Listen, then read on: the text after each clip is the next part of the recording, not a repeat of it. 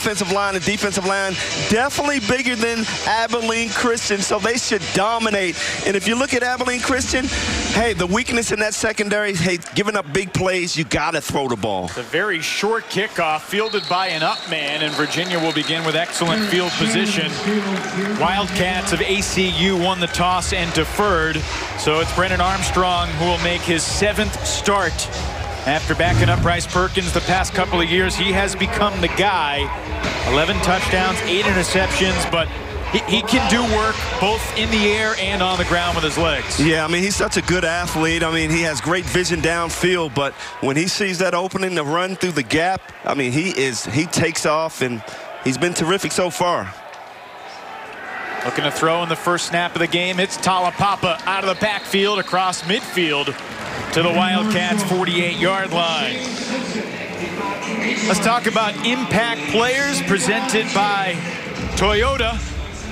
You see Simpson in the backfield on that first play, not Taulapapa. Who do we got for impact players, Brian? When you look at this uh, defense for Virginia, you got Charles Snowden, who is a dominant player from the outside, leading the ACC with six sacks. And then on offense, Lavel Davis Jr., he's a freshman, and I love his size. I love his aggressiveness. He is a terrific player so far as a freshman. And then if you look at AC, uh, ACU, Jack Gibbons, a linebacker, the veteran on that squad, he has to come up big today. And L.J. McConnell, get him the ball. He has the speed to outrun Virginia secondary. Christopher Satterfield, the freshman cornerback, makes the big hit there on Billy Kemp. This game began with a very short kickoff. The main Wildcats kicker, Oscar Hernandez, uh, filling in for Blake Zepeda, who didn't make the trip. Just out, out of the reach of Rashawn Henry. And it will be third down here for Virginia from the 37-yard line. You know, I'm surprised that they're throwing the ball so early. With that big offensive line, why not establish the run? But as you see, Brennan coming out throwing the ball. For the first time this year, Virginia takes the field with a different starting offensive line, a product of Dylan Reinkensmeyer getting hurt. Keytaon Thompson came into the game at quarterback, and he got stacked up. He did not get anywhere close to the first down yardage. And it's the senior leader, Jack Gibbons, who is spearheading that stop for Abilene Christian. Well, this is what I talked about before the game. I mean, hey, these guys are coming to play. They're going to lay it on the line. They read this play well. When Keytaon is in that backfield at quarterback, you know he's not going to throw the ball. He's going to run it. Fourth and five. Offense remains on the field. Brennan Armstrong back in the game. He's looking to throw. And that is incomplete. There was some contact just before the ball got there, but no flag. Looking for Lavel Davis. Shelby Washington in the coverage. And Virginia turns it over on downs two minutes into the game. Wow, looking for that tall receiver, Lavel Davis across the middle. But great reaction right there by the defensive back coming up. Shelby Washington breaking on the ball, reading the quarterback's eyes. So Virginia picks up a first down on a short field, but does not capitalize on it. And now let's see this Abilene Christian offense. They're led by a junior transfer quarterback, started his college career at Iowa, and his name sounds like a quarterback. His name is Peyton Mansell. And he he's a little more like Johnny Manziel than Peyton. Uh, and we beg, beg your pardon, because they're going to Stone Earl it gets the start for Abilene Christian and a huge surprise. The freshman from Keller, Texas, who has only appeared in one game, thrown two passes this year. He's out there on the first series of the game for the Wildcats. I'm a little surprised, but I was watching Peyton Manziel doing warm-ups, trying to throw deep passes, and he grabbed his shoulder. So maybe, and I'm speculating there, that could be the reason. Obviously, they didn't give the TV truck a heads up. Didn't give Virginia heads up either. Second down and nine pass incomplete. Intended for the tight end Brandon Hohenstein. So that changes things considerably for the Wildcats. Mansell's not going to play. We expected to see Earl at some point today. Impact players brought to you by Toyota. You already talked about Charles Snowden, Lionel McConnell, better known as LJ. leading receiver on this ACU team. Wildcats one and four on the season. Their game last week against Arizona Christian was canceled. But that pass is complete to Kobe Clark, who might be the most talented player on the entire Wildcats football team. Well, here it is. I mean, I talk about strategy. Coming out, throwing the ball. Kobe Clark, you know he has talent. And Stone, patient in the pocket, hits him out of his cut. 13-yard completion for Clark. Those are his numbers in the Wildcats' lone win of the season, but he hadn't played, Ryan, since that game out with an undisclosed injury. This is the last thing Bronco wants to see. Abilene Christian gets some momentum here. Another pass. That time McConnell on the far side of the field, right at the marker. Look, L.J. McConnell is a, a, terrific receiver with a lot of speed, so you got to respect him as a cornerback. So you play off of him, and this is what's going to happen. He's going to cut in front of you on a quick out and make the plays. Certainly the first three and a half minutes haven't gone according to script. Absolutely not. Give Abilene Christian a lot of credit. They did get the first down, 10-yard completion to McConnell. This is Darius Lewis on the bubble screen. Zane Zandier diving to bring him down, but after another 10-yard pickup, nearly 10 yards on that play for Lewis. And not what Bronco Mendenhall wants to see. Nick Grant shaken up after the play. Timeout, injured Virginia player. Grant got his ankle rolled up on by Zane Zandier. Well, Virginia wants to take care of business and stay healthy not checking. This is an Abilene Christian program that hasn't had a lot of success or, or good fortune throughout this fall. Earl takes the shot deep, and it's intended for Hohenstein, incomplete. Well, Darius Bratton comes in from Roanoke, Virginia for the injured Nick Grant. But I, I mean, you got to like what, what Abilene Christian is doing right now. I mean, Stone comes in unexpectedly. He gets the start, and he's just being aggressive downfield. He is going to challenge that secondary. Stone Earl, freshman from Keller, Texas. His dad played in the NFL on the offensive line for a number of years. And on third and short, Earl picks up about five to move the chains. And another Virginia player is shaken up. This time it's Charles Snowden. A senior Time leader. Injured Virginia player. One of the heartbeats of this football team. Still hurt, not available on the defensive line. All of a sudden, there's a lot of young guys out there for the defense coordinated by Kelly Poppinga and Nick Howell. Matt Gahm takes over for Charles Snowden. Good news is he's played a lot of football too. 41 career games for Gahm, the senior, who happens to be from Dallas. So playing Abilene means probably a little bit of something yeah, uh, to him. Exactly. The ninth play of the drive for Abilene Christian. Their first possession after they stopped Virginia on fourth and five. On the first possession of the game, deep ball just out the back of the end zone. A little bit better footwork, and the Wildcats would have struck first. Darius wow. Lewis couldn't get the foot down. Wow, great job by Darius Lewis getting behind the safety there, and a terrific throw by Stone. Just short of staying in bounds here. He gets up. Wow, so close being a touchdown. Pretty clearly on that back line out of bounds. We, we mentioned the kicker. Blake Zepeda didn't make the trip. Oscar Hernandez has a 46-yarder in his career, but he hasn't attempted a field goal since 2018.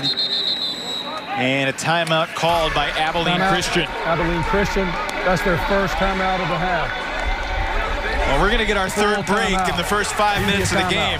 Northwest Missouri State playing in his hometown of Maryville, Missouri but he won 23 games as a junior and a senior, and obviously he was a three-year set up, presumably a 41-yard field goal try for Oscar Hernandez, who again hasn't attempted a field goal since 2018. And the backup kicker to Blake Zepeda, who did not make the trip from Texas.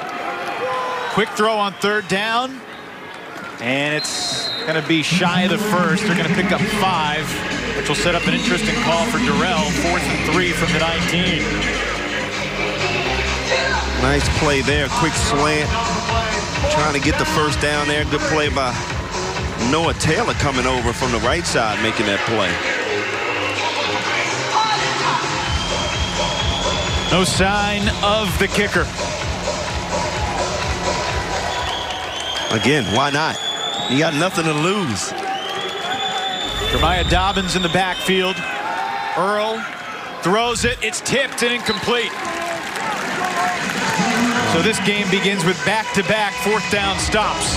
Nick Jackson getting a hand on the play there. Reading the quarterback's eyes. Did not get fooled here and here. Just what you teach them. Get your hands up. Big play for Virginia defense. Last month, Bronco Mendenhall said that Nick Jackson has become Virginia's best defensive player. Part of that strong linebacking core for the Cavaliers. So Armstrong retakes the field at his own 19-yard line. Sends Simpson out in motion and throws it complete to Terrell Jana, who now has at least one catch in 24 consecutive games for the Cavaliers. Again, Virginia is surprising me coming out just throwing the ball.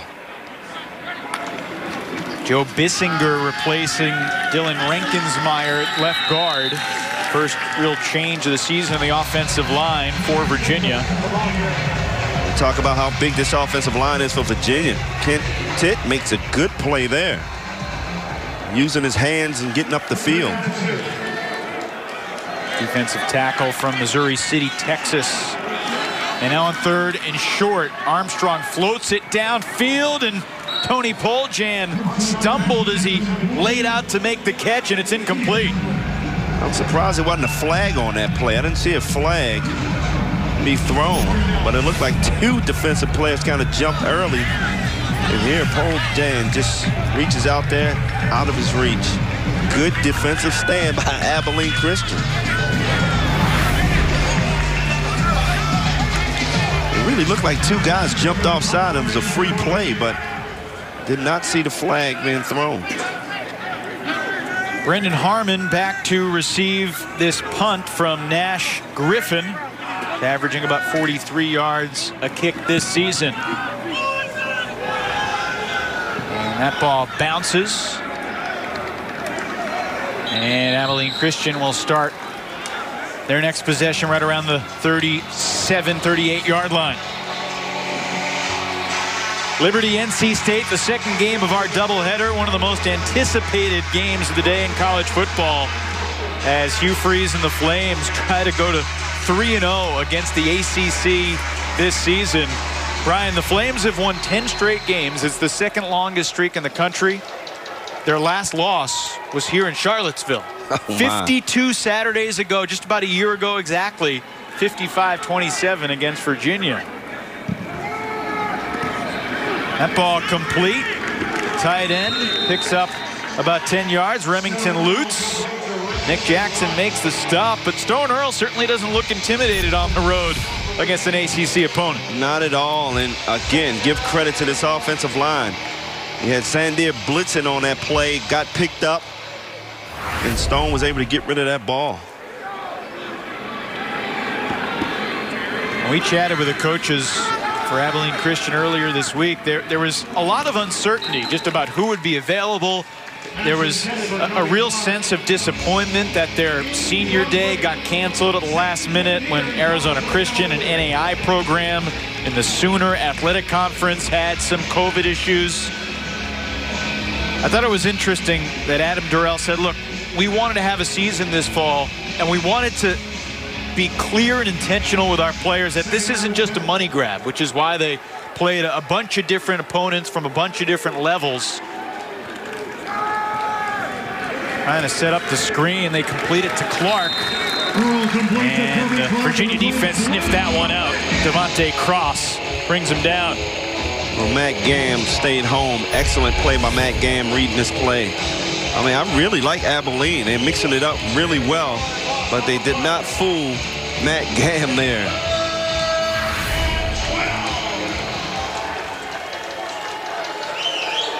So third and 12. Abilene Christian did successfully convert a couple of third downs in their first drive, but Earl hit by Noah Taylor as he released it, and that one's incomplete. Well, now you see this defense stepping it up a little bit. Zandier and Noah blitzing in, giving Stone no time to make a play here. Intended for Brendan Harmon. Good job by Noah. Logan Burke averaging about 37 yards a punt this season to send it deep for Billy Kemp the fourth. Kemp standing around his 20 and he has to backpedal. That's a really nice kick all the way to the seven. And Billy Kemp the fourth returns it 13 yards out to the 20. Good coverage by Abilene Christian special teams. And you get a punt like that, you out punch your coverage, but they able to hold Billy Kemp to just 13 yards. And now a quick word from Bojangles. Feed the whole family with a big Bo Box. It's Bo Time.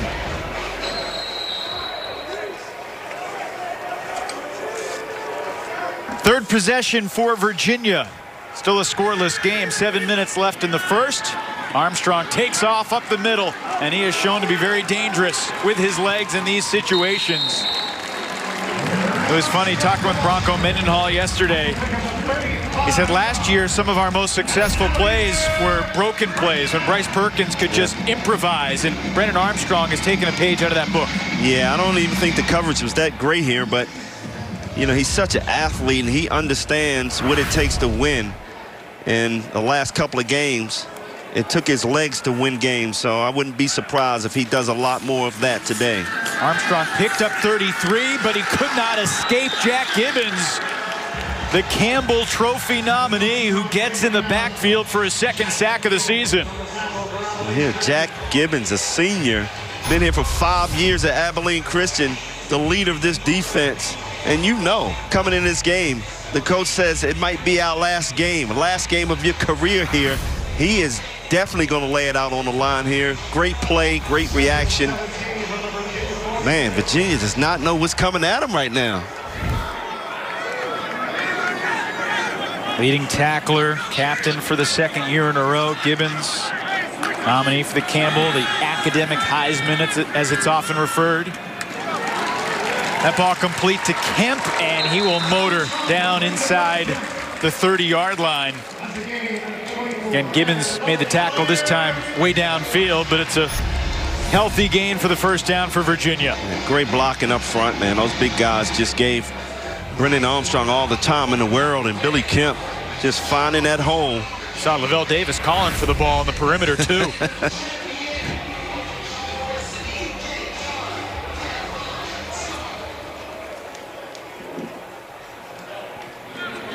33-yard carry for Armstrong earlier in the drive, the longest run of the season for any Virginia player. They've run the ball well the past couple of weeks as they give it to Keytaon Thompson this time, who lost a cleat in the process of picking up a couple of yards. And there's a, another injured player on the field. Keytaon trying to get to the outside, but you got to give credit to Ryan Stapp coming up and making a sure tackle. You know, Virginia, Brian, is averaging 171 rushing yards a game, but they haven't had a, a single player to have a 100-yard game on the season. And you, you got to go back 43 years to find a Virginia season where no runner gained 100 yards. So that's a, a streak that's on the line these wow. last four ball games or so. Well, Gibbons, as we mentioned, the nominee for the Campbell Trophy. Virginia's Jordan Mack was a finalist for the Campbell Trophy last year. Past winners include Danny Wuerffel, Peyton Manning, Tim Tebow. Let's go down to Lindsay with more on Jack Gibbons. That's right, guys. Jack Gibbons looks pretty good so far. We spoke with Adam Dorrell earlier this week. He lit up talking about Gibbons. Said, Coach, he has one of those infectious personalities, and Coach added that Jack is everything you want your football program to stand for. Back to you. That ball's complete to Tony Poljan, and he'll take it in the end zone. Touchdown. 28-yard throw and catch and run.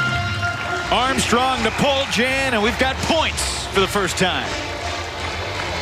Again, this offense is starting to get comfortable. The offensive line, the protection for Brennan Armstrong to just sit back and wait for his receivers to come out of their cut and a mismatch. Poljan. Just making it look easy.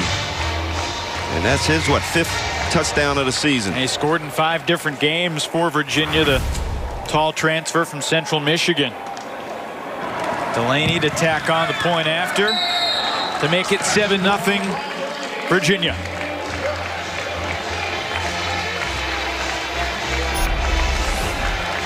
Here, Armstrong just dropping back, waiting for a guy to come out of his cut, and there he is, Poljan. Pretty good coverage there, but just outside the reach. And this is the team that you expect to see. Five plays, 80 yards, 221. Culminates in the 28-yard catch by Poljan. That's his longest reception of the season. Pretty good size in Poljan. Coming in the game, had 223 yards, 25 receptions, averaging almost nine yards a catch. And we were joking about it. There's on this Virginia football team. And once the football season is over, you know, in, in, the COVID era, basketball teams need as much depth as they can get. Tony Bennett may pull a Charles Snowden or a Tony Poljan onto the bench. Charles Snowden said, look, I, I have five fouls and I can wave a towel with the best of them. That's right. Chance to play some ACC basketball, perhaps. Hoop season scheduled to begin this Wednesday, believe it or not. Let's go back down on the field with Lindsay. Thanks, Evan. We just saw how dangerous Tony Poljan can be, and he has a very unique motivation for doing well on the football field. And that motivation is overcoming his stutter. He said when he was younger, he would go out on the football field. It didn't matter what anyone would say because he would always work harder and he would always be winning, and he feels that actions speak louder than words. Guys? He's been a huge addition for Virginia in 2020. The Cavaliers seek their third straight winning season under Bronco Mendenhall. Still Stone Earl, and his pass nearly picked off the hands of his intended target. Nick Grant right there got the fingers on it. Well, originally he was throwing that ball to Jeremiah Dobbins, who should have caught that ball. That came off his hands. I mean, Dobbins is wide open there. By the way, it's good to see Nick Grant back in the game after he got shaken up early.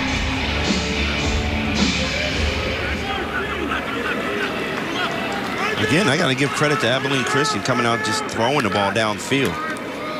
They've been shorthanded in the running back department. And this is the fourth time they've run the ball. Three of the four times have been the quarterback keeping it. Angelo Amos makes the stop. Amos in the starting lineup for the fourth straight game after Joey Blount got hurt. You have a feeling, I mean, somewhere in the back of Bronco Mendenhall's mind, he's thinking, look, we got to get healthier. And right now, we're, we're going in the wrong direction in that department.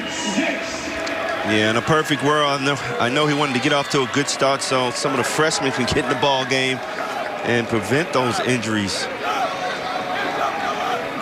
Third and about six. That ball's complete, and Abilene Christian will move the sticks. Amos rips down L.J. McConnell. But the leading receiver for the Wildcats picks up the first.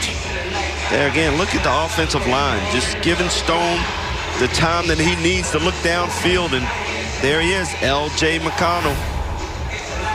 One of the impact players of this game.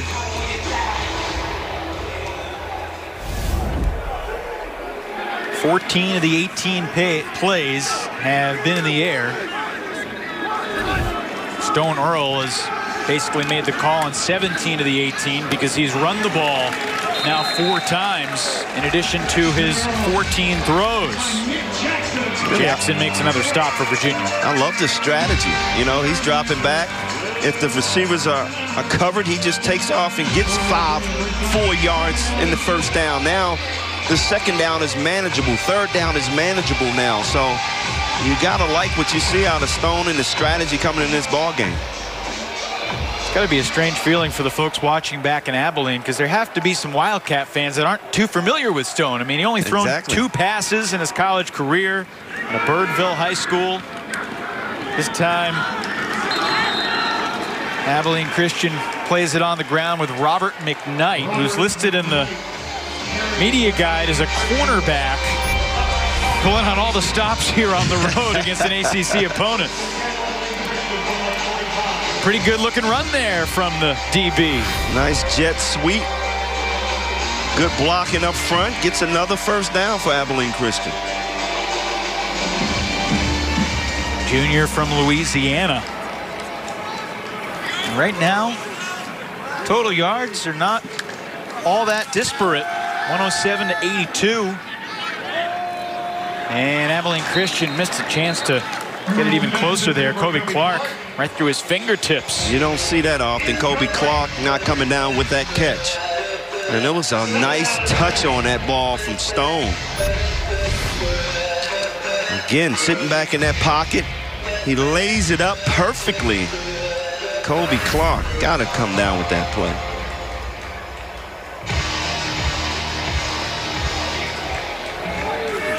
Second down and 10 from the Virginia 45-yard line. Play clock winding down. Earl gets it off. Completes it short to the tight end. Lutz. And sets up third and manageable. It'll be third and four. Wow, I'm very impressed by Stone. Uh, he is sitting back. He's putting a nice touch on the ball that he's throwing. He's picking out that open receiver. He's doing a great job. I mean, Lutz got to catch that ball and, and just take off. You can't stop your momentum like he did just now. Get those extra yards. Abilene Christian looks like a totally different team than when they last took the field against Angelo State, a D2 program that won at ACU 34-21 two Saturdays ago, spoiling the Wildcats homecoming. Give to Darius Lewis, and he's in trouble, and he's going nowhere. That may work one time, but Virginia with defense was all over that play. As soon as they saw the motion here, you can see all the Virginia players running that way and extending the play out. Uh, excellent play. Cohen King, Getting up Zane Cohen King, right yeah. there. Getting up the field, making it. But uh, across midfield, I'm not sure we're going to see the Abilene Christian punter. Third and four becomes fourth and 10. And I think we're going to see a timeout call here because they don't look like they're going to snap a play in the next three seconds.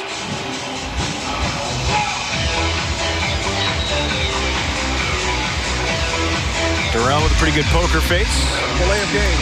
They're going to take the delay of game and presumably punt now. By a little more space for the punter, who has only averaged 37 yards a punt this year. Yeah, Bronco Mendenhall wants to decline the penalty.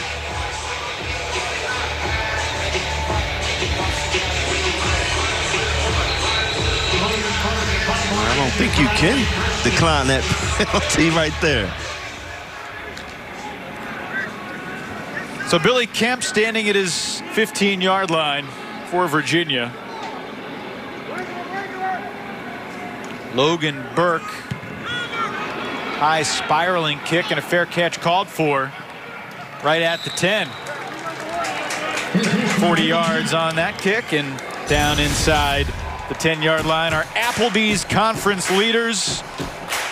Notre Dame, the only undefeated team. There was certainly surprising news this morning when Clemson's game against Florida State got suddenly postponed slash canceled. There's a lot of strange business to work out there. And I mean, at one point, this was going to be one of the busiest Saturdays of the season in the Yeah. ACC. And instead, you had to be a Virginia team to be playing in the ACC today. Floating it deep downfield. Armstrong connects with Lavel Davis Jr. This guy's got speed. And the freshman takes it 90 yards for the touchdown.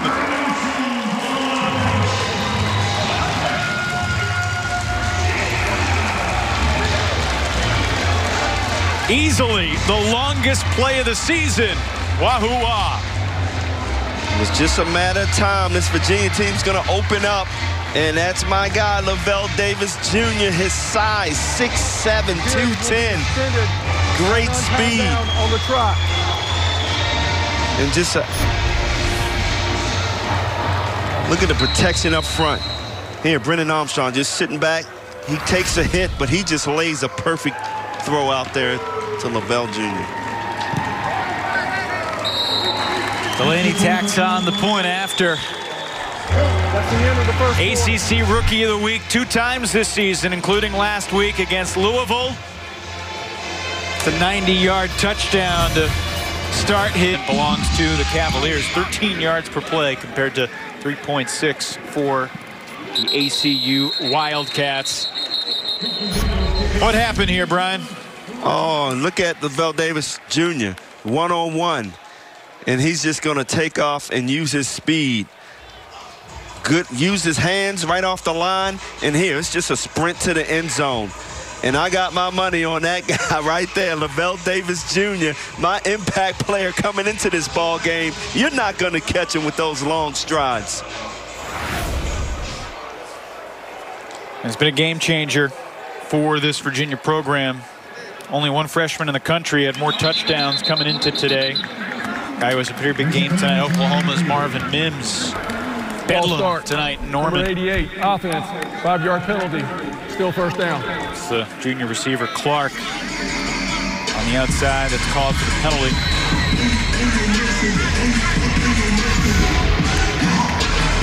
Four for 74 and a touch last week against Louisville. Yeah, he got a penalty called on him last week. Made a catch and he stood over the defensive back. And I said, I like that guy. Even though the officials did not. You know, they did not, but I love his attitude. Right before the play clock expires and the time of the backfield goes quick for Stone Earl. Matt Gahm with his third sack of the season. Well, I'll tell you what, the Virginia defense not taking any more chances. They are bringing everybody after Stone. And there it is, Matt Gahm getting his opportunity with the injury to Charles uh, Snowden, making a big sack there.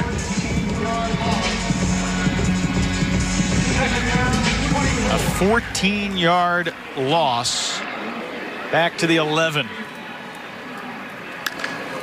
Second 24 is not a down and distance. The Wildcats are going to have much success in today, you wouldn't think. Wow, this defensive line of Virginia is starting to take advantage of the offensive line of Abilene Christian. That's two passes with guys right in his face. Stone not getting the time that he had in the first quarter. Well, the Wildcats haven't shown that they are going to try and run the ball. Is there a way to capitalize on this potential, quote, over-aggressiveness on the pass rush? Well, I, I don't think you can. I mean, you look at this defensive line of Virginia, not a place stout up the middle. So your best thing is to pass the ball. Earl fakes it, completes it short. There is a flag on the field, two flags now. Hohenstein brought down well short of the first down. We'll check the two markers here. Gary Patterson, the referee today. Signal for a legal man downfield. Ineligible receiver downfield, number 53 offense. Penalty is declined. Fourth down. Two flags, one penalty, fourth down. Well, that's a good stop by the Virginia defense. They starting to be more aggressive up front. Well, Abilene sent, sent a message early in this game. Two good drives, and they couldn't finish either one. Surprised they didn't go for it on fourth and 10 from there. Virginia 40. Kemp back at his own 40. Back pedals to the 38, makes a move, and gets back to the 40 just about.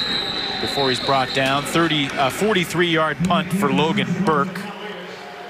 And 13:44 remaining before halftime here in. Come on, I think you know they're doing their best, but like you said, 250. There's only so much you can do. Capacity of this place over 60,000. They've had some great crowds here through the years. A different season in 2020, no doubt. So many different ways. Armstrong gets rid of it there. Pressure by Hunter Kier, the middle linebacker, Kansas. And there's Peyton Mansell, the quarterback that we expected to start today for the Wildcats, the transfer from Iowa, who has not been in the game yet, but has been throwing on the sideline the past couple of minutes, and we'll see what we see going forward. who knows right now? First carry of the game for Wayne Taulapapa. Good job by Abilene Christian's defense extending the play out to the sideline. I mean, you got to give this Abilene Christian defense a lot of credit. I mean, it, they've been pretty stout. You know, the secondary's been taken advantage of by Brennan Armstrong. Reshaped the defense, certainly. Clint Brown, the second-year defensive coordinator, says, I mean, they weren't very good right. pass defense last year, one of the worst in the country. They've made great strides in that department. Pressure coming. Armstrong escapes. And he's got good speed and an opportunity to gallop for the first down. A huge difference there on third and nine. Could have been a sack. Instead, he picks up 14. Wow, good pressure by the defense coming up the middle. And here you thought he was going to be sacked. Kent Tidd had him, and he just spun out. We talk about his athleticism, his speed, and that's what makes him so good. Will Morgan is the injured Wildcat on the field as you see the numbers for Brennan Armstrong this year. I mean, like everyone in college football, you had to prepare for the season a little differently. Brennan Armstrong, he was home for the spring in Shelby, Ohio. He used his neighbor's garage to lift weights. He threw to some former high school teammates at the high school football field, and that's basically what got him ready for college football this fall. You know, I can't even imagine what these guys go through. I, you know, to to totally stop what you've been doing to prepare for seasons for so long and have to figure out ways to how you can be in the best shape once the season starts and you, and you still don't know what's going to happen. It has to be tough, not just physically, but mentally on these players. And there's something that, that feels almost unfair to be judged by your performance this right. year with yeah. all the crazy circumstances. With that said, you feel so fortunate just to be able to play, and there's a balance that has, has to be struck between the gratitude to play and you know the standard that you're actually held to as a program and as an individual for that matter.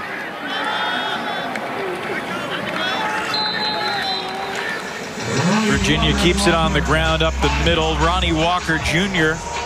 made his debut for the Cavaliers last week against Louisville. Transfer from Indiana. Jacob Thielen on the tackle. Back up defensive tackle. Relative of Vikings receiver Adam Thielen. Ah. Second down and six for Virginia.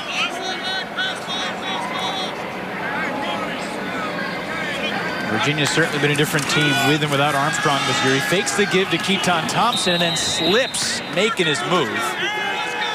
And pops right back up at the 40. Well, that was a design play. When you got Keytaon in the backfield, you expect him to get it and run it faked the handoff, and boy, he had some running room. Hey, as a, as a great defensive player like you were, what's it like when there's two quarterbacks in the game? Like Keytaon Thompson can't throw the ball too. How does that change your mindset as a safety? Well, you got to handle your business. I mean, you got to read your keys and stay with it, regardless of whether you got two quarterbacks in the game. Tony Poljan down to 30. Poljan and Davis with the touchdowns for Virginia so far.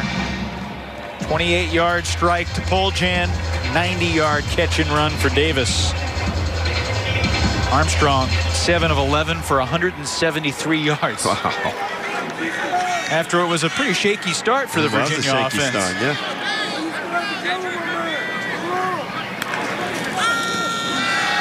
Fakes the give, looking deep.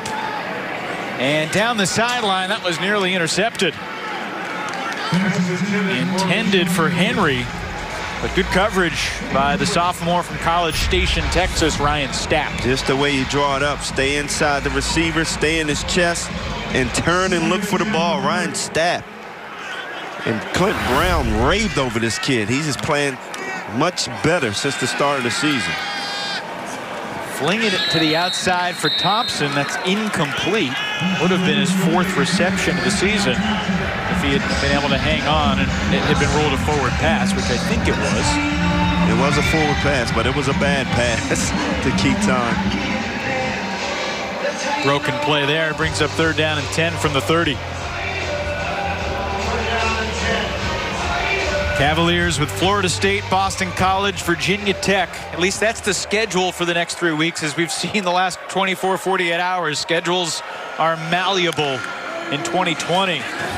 Got a free play right here. Wildcats jumped offside, so winging it deep. Armstrong sends it to the end zone, and Davis could not hang on. Davis incomplete, but there is a penalty flag on the field. Davis is still down, and you hope he's not injured. Davis helped up before any of the Offside. trainers could get over there. Defense, number 92. Five-yard penalty. Repeat third down.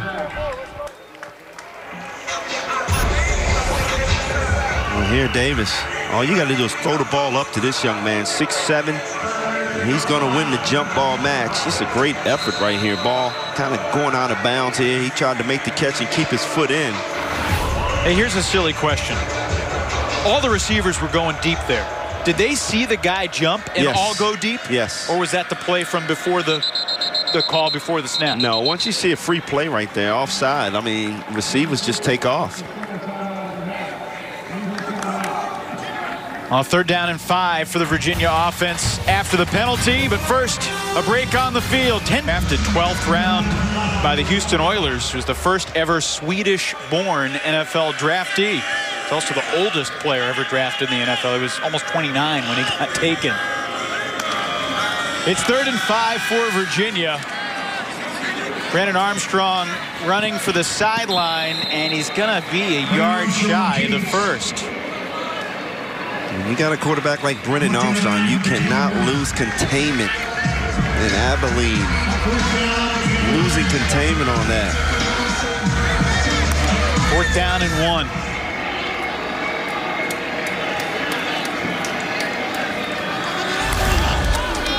Armstrong gives it to Taulapapa. And is going to be close. I think he got it. And the officials signal for the first down.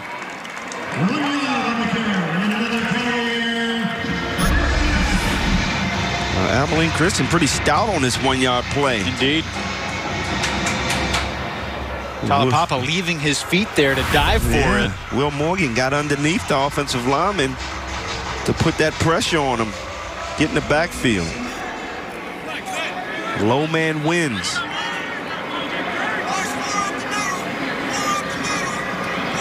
Simpson in motion, circles the wagons in the backfield. And they complete it to Poljan, and he'll rumble down to the 10-yard line. Poljan getting a lot of action. Well, Virginia in the red zone, as we mentioned in the open, their last couple of games, they've been much more efficient down here.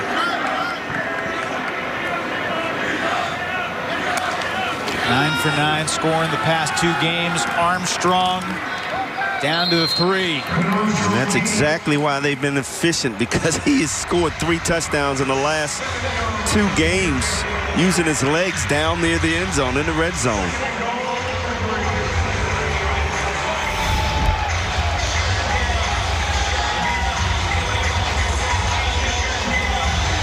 Sixty-one percent touchdowns in the red zone this year. But if you look in the three wins, they're 14 of 15 scoring with 11 touchdowns.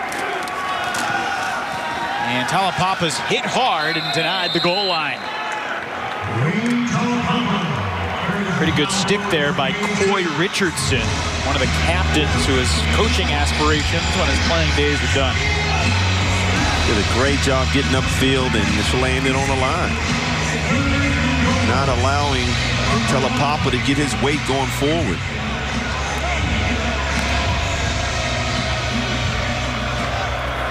Merely a six-minute drive. Reaches the point of third and goal. And up the middle, Shane Simpson bursts into the end zone for Virginia.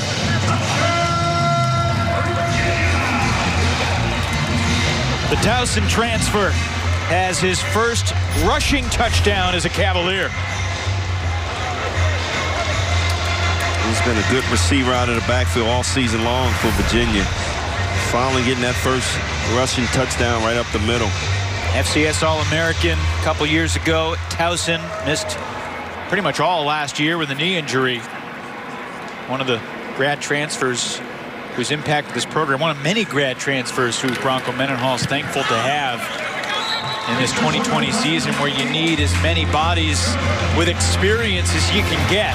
State in the 50s, Seminoles weren't in the ACC then, but they battled against the Burt Reynolds, Lee Corso Seminoles teams. Everyone knows Reynolds and Corso were roommates back in the 50s in Tallahassee. Let's go down to Lindsay for a little more on the recent touchdown scorer, Shane Simpson. Yeah, Evan, you mentioned it, that Simpson suffered a season-ending knee injury last year in the third game of the season. I spoke with him earlier this week. He said when he found out how bad the injury really was, he broke down crying in front of his dad and the doctor, but a few minutes passed, and he looked up at them and said, I'll be back better than ever. He said his dad and the doctor looked at him like he was a little crazy, but Simpson kept true to his word, was constantly ahead of schedule in his recovery, even walking just a few days after surgery. Now here we are seeing him make an impact on the field. Yeah, he's been a real impactful guy for Virginia. Stone Earl remains in the game for the Wildcats. Speculated maybe we'd see Peyton Mansell, but not this drive, at least at the start. Darius Lewis picks up six yards on first down. Yeah, it's kind of interesting to see that quarterback change, but it's hard to take Stone out right now. I mean, he's moving the ball down the field. He's not scoring, but he's doing a good job. Earl spins on the snap and spikes it in pursuit of Hohenstein, but there's a flag. And it's a signal for another ineligible man downfield. Wow.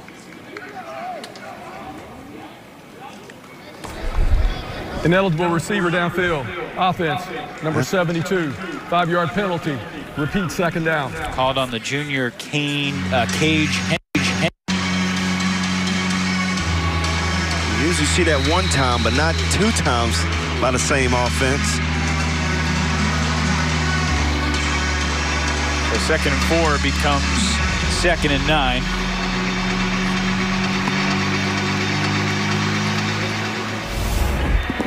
He's thrown the ball a lot. He's carried the ball five times and thrown it 21 times. Jeremiah Dobbins carried it once. Earl keeps it out near the 30. Well, that was a design run right there for Stone, picking up four yards on the play. And I think they're going to actually spot him at the 28, so give him just two. Well, I said coming into this ball game that Abilene Christian's going to throw the kitchen sink at Virginia. Look, I watched a lot of film on Abilene Christian. I haven't seen these plays Yeah. yet this season, so they are making up some good plays on the fly coming Had- into this week, had man. a good couple extra strategy. weeks to prepare. Exactly.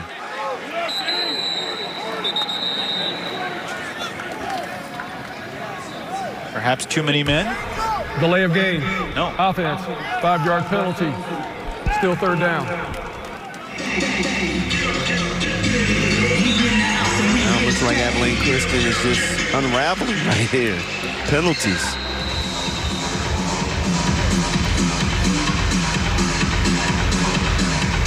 Again, it's been such a bizarre season overall for everyone. For a school like Abilene Christian at the FCS level, they're going to end up playing a six-game schedule. We asked if they might try to schedule somebody for the next couple of weeks and they basically said, no, we, our kids are going home Thanksgiving. That ball's intercepted. Virginia is going to add some defensive points. It's D'Angelo Amos taking it to the house. the pick six, but there is a flag, and we'll check the marker.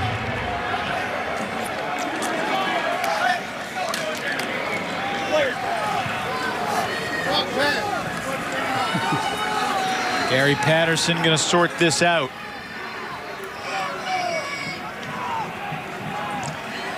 Virginia sideline wants the touchdown. Yeah, I mean, that was a poorly thrown ball, and D'Angelo Amos, good read, good break on the ball. Easy six points. Delaney's on the field. He's ready to kick the PAT. Pass interference. Defense, number 30. 15-yard penalty. Well, maybe that's why it was so easy. Automatic. First down. Take a look at the replay. Amos seems surprised at the call. Darius Lewis coming. Oh, man. I don't, I don't know about that call. I mean, he did kind of throw him down, but no, he didn't really I need think to do Darius Lewis was falling down. He was almost trying to hold him up. I'm a defensive back. that. Come on. You never believe that there's pass interference. So that nullifies the 40-yard pick six. And a pitch and a running play. And a pretty good hit. Jeremiah Dobbins drilled. I think Rob Snyder. Big hit by Snyder.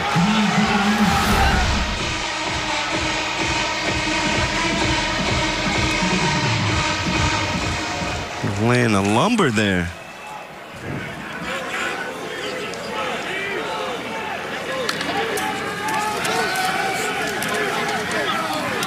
Making a move, Earl with his feet.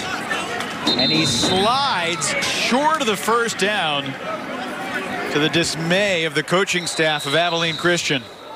And there's an injured injured Cavalier Virginia player. down freshman or the first year as they call him in Charlottesville. Nusi Malani shaken up on the defensive line, number 45 there.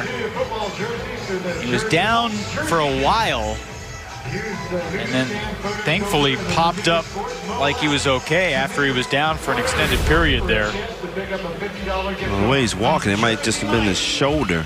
He kind of reached out there and extended it, trying to make the play on a quarterback. But they're shorthanded, obviously, in the defensive line, but Yes, it hasn't stopped them from getting some pressure on Stone Earl, especially in the second quarter. Yeah, it's just a matter of time. I, I told you, depth is so important when it comes to FCS versus Division One and FBS. I'm sorry, and you can see him trying to wear down Abilene Christian. It's just wearing down that offensive line, defensive line. And Nusi Malani had only played 59 snaps in the first six games for Virginia, but his role has been increasing. In his debut against the Clemson Tigers. What must that be like? Your first ever college football game. Hey, go play against Clemson. you know, it got to be exciting. You know, regardless of what you do, it's experience, and that's what you want coming in as a freshman. I mean, for Stone Earl, your first start as a college football player against a Virginia defense that has plenty of pop to it. You'll uh, never forget it. Third and short, Earl keeps it himself and will pick up the first down. He picked up two. He needed one.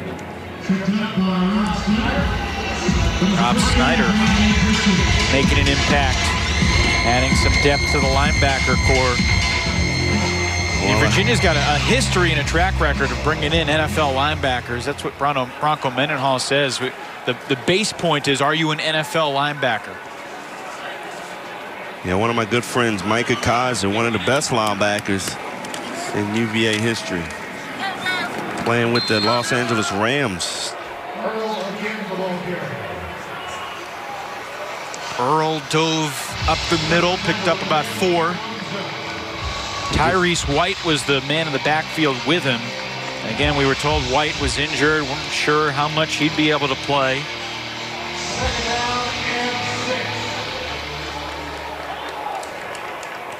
Earl taking an extended look at the play sheet on his armband there. Again, the freshman making his first start. Time, but creates more time and picks up another first down with his legs. Zandier brings him down. The first and 10 coming up for the Wildcat, Wildcats. See him scrambling, but he had Brendan Harmon wide open in the middle of the field. But, you know, when you're running for your life, you don't necessarily see everything downfield. He was able to, fortunate enough to get another first down.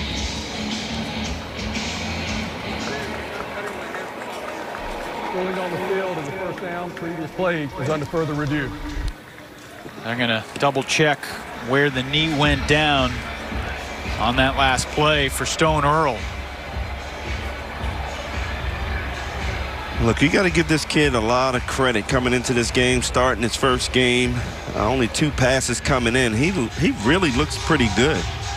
Uh, he's throwing the ball down the field, getting some completions, using his legs.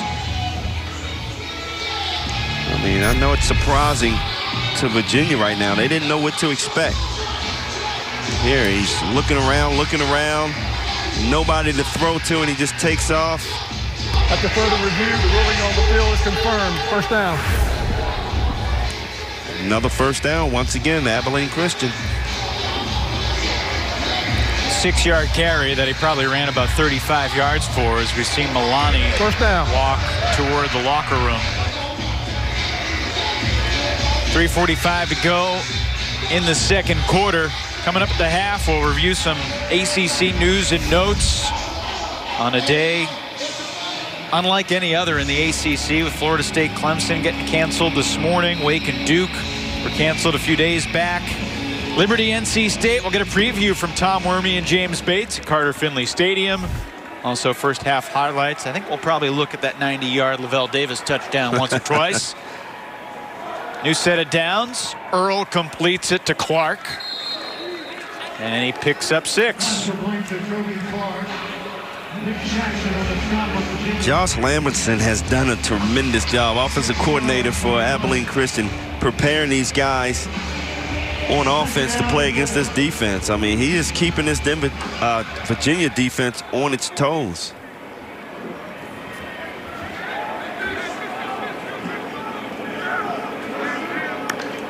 Second down and four, under three minutes to go in the half. Complete that one to the perimeter for L.J. McConnell. Wildcats desperately looking for points before the half.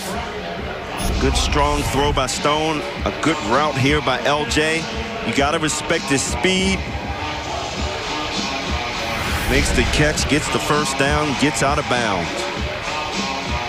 Well, Stone Earl in his first half as a starter, when he's thrown the ball 23 times, he's run the ball 10 times.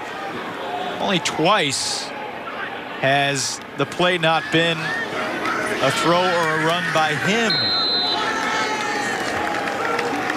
McKnight, defensive back, takes it for a couple. Zane Zandier.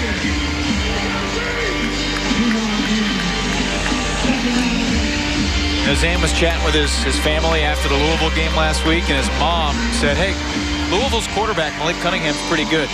And this is right after he had run all over the Cavaliers. Thanks, Mom. Yeah, pre appreciate you mentioning that. Said that on appearance with Packer and Durham the other day. That ball is caught down inside the five-yard line. And first and goal coming up. Darius Lewis makes the grab for the Wildcats. Wow, good rollout play here, reverse rollout. Stone looking for Darius Lewis. It's a good grab by Darius Lewis going up and getting that ball. Good concentration, good hands.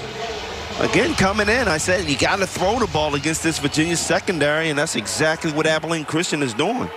And the Wildcats will get the ball to start the second half. So if they can score here, and then they'll get the ball in the third quarter, a chance to get back in this game. Earl breaks a couple of tackles, but maybe picks up one extra yard before Jackson brings him down.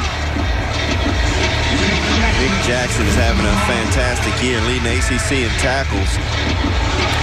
Hadn't called his name too often today, but a good play there.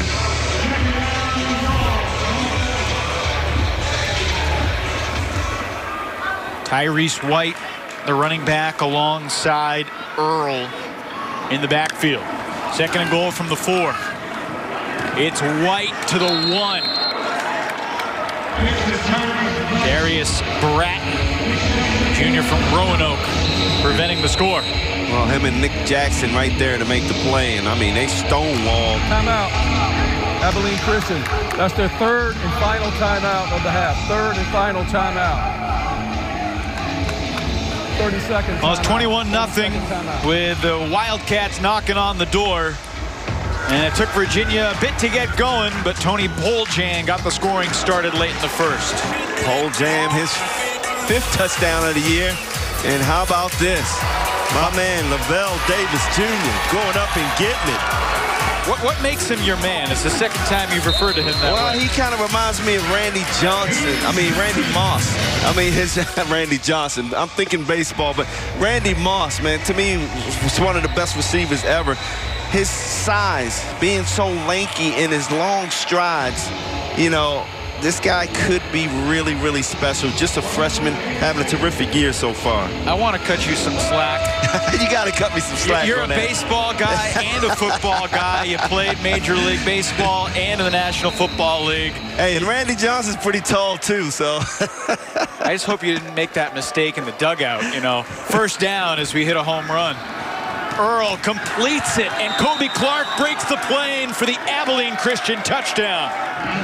30 seconds left in the half, and the Wildcats get on the board.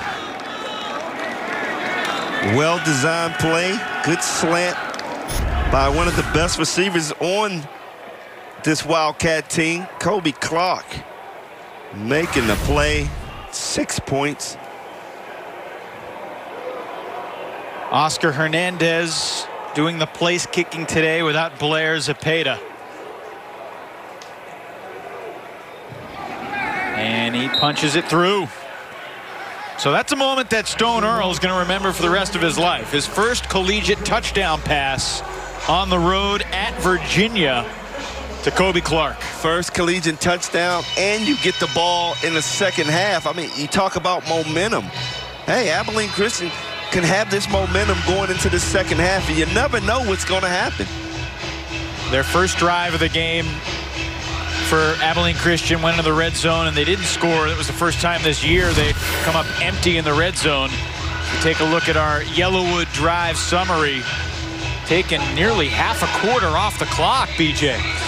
Uh, no surprise. I mean, right now they have a lot of confidence going, and, and when you can score going into halftime and you got the ball coming out of the half, uh, if I'm Bronco, I'm saying at halftime, hey, let's let's get this thing going.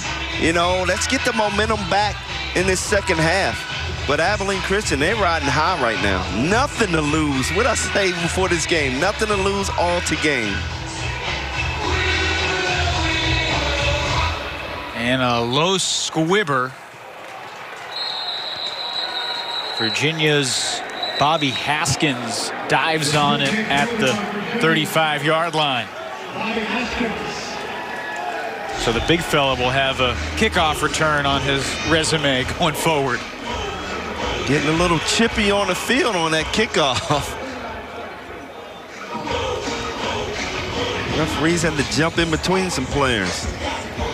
No time off the clock there. Virginia has 30 seconds and all three timeouts.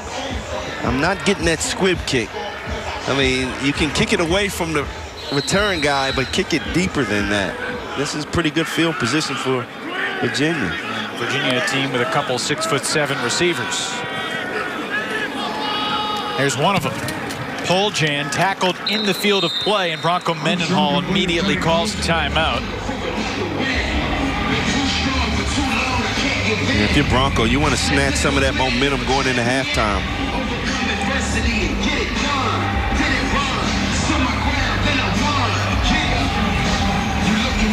Players in the field at first didn't realize that Bronco had called the timeout, but I, I saw him stand right next to the official. Well, 7.30 kickoff tonight in Raleigh. If you haven't seen Malik Willis, the Liberty quarterback, Auburn transfer, he's been fantastic. Obviously, the Flames have a victory at Syracuse. If that didn't impress you, they got the victory in Blacksburg, and now they try to conquer the Wolfpack in Raleigh tonight. What, what do you expect later tonight in the North Carolina Capital? Well, right now, I mean, Liberty's riding high. Hugh Freeze. He's been there, done it before, so he understands what's at stake. He's undefeated, and I know he wants to go and take it from the Wolfpack tonight. You know, he's 16 and 5 as the Liberty coach. And I mean, they've won 10 in a row. Their last loss, as I mentioned before, was here in Charlottesville, November 23rd of 2019. Bryce Perkins was good that day. Second down and one after the Virginia timeout. 16 seconds on the clock. Nice throw to the outside. Kemp tried to make a move, gains about five extra yards, takes a couple seconds off the clock. Picks up 21 yards, and Virginia basically in field goal range for Delaney. Abilene playing off the receivers, respecting that speed, but also looking at the clock, giving up the 20-yard play. Scoreboard shows 14 seconds remaining. Virginia can throw it anywhere on the field, of course. They've got the two timeouts. Armstrong zings it to the other side and hits Kemp again.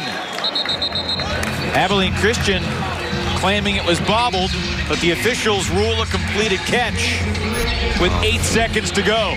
Great catch here by Billy Kemp. Look at his concentration, using his hands. Looked like he hung on. 19-yard gain. And they're going to take another look at it. Yeah, if I'm Abilene Christian, I'm looking at Lavel Davis Jr.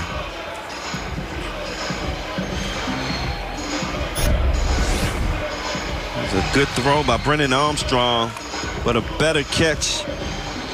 Oh, yeah. I mean, that's... He caught it all hands, and he kept his feet in bounds. See, the ball moves a little bit, but it looks like he maintains control. Yeah, it's no bobble there. That is a catch in my book.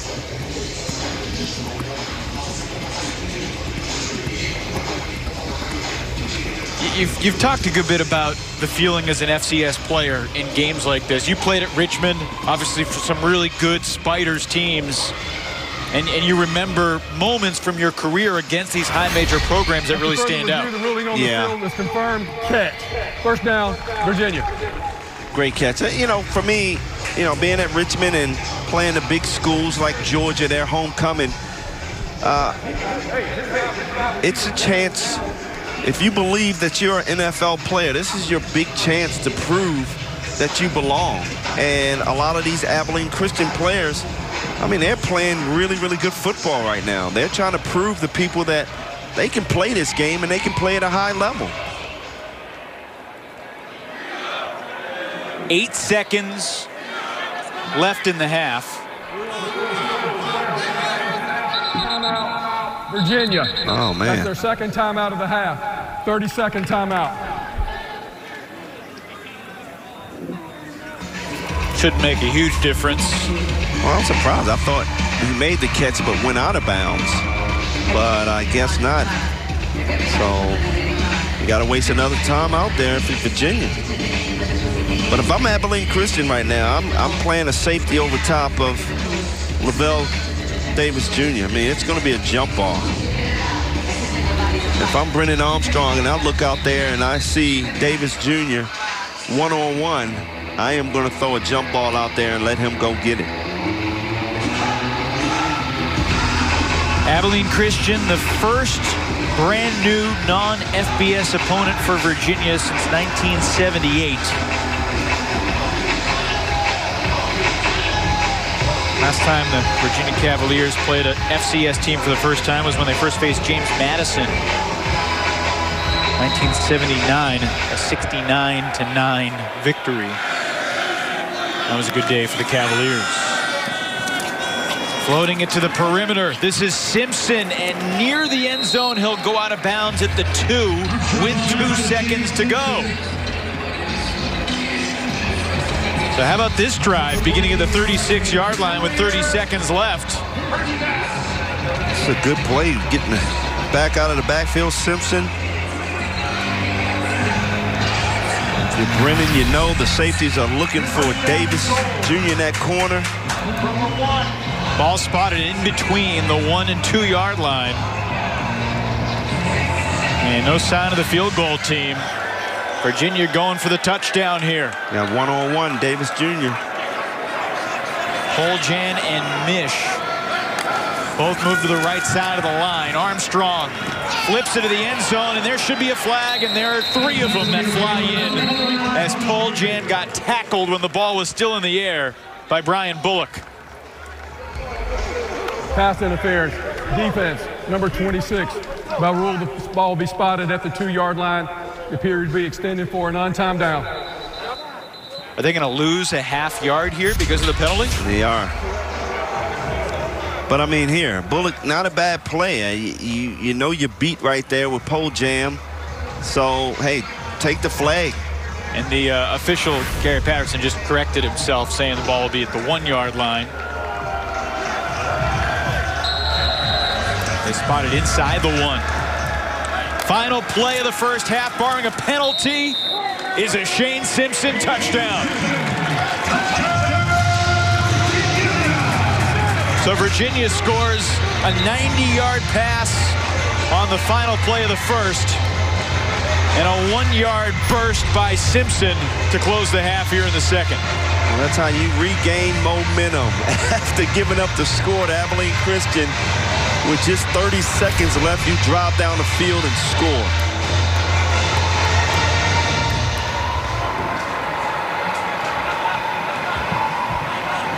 Delaney made his 100th career PAT earlier in the half. There's number 102.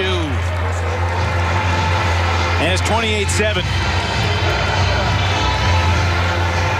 Adam Dorrell, see him mouthing good first half. Met at West Point. Mom played basketball. Dad played ice hockey. So for them to see his their, their son play in West Point in New York against the cadets is pretty darn cool. And he actually played pretty good against Army, Sure too. did. Yeah. Final score that day was 55-23, but threw for three touchdowns.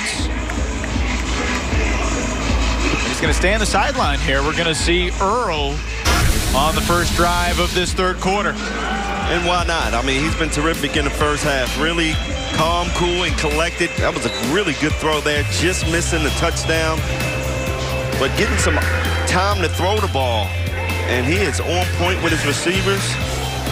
Throwing on the run, sitting in the pocket. And there's a touchdown pass there.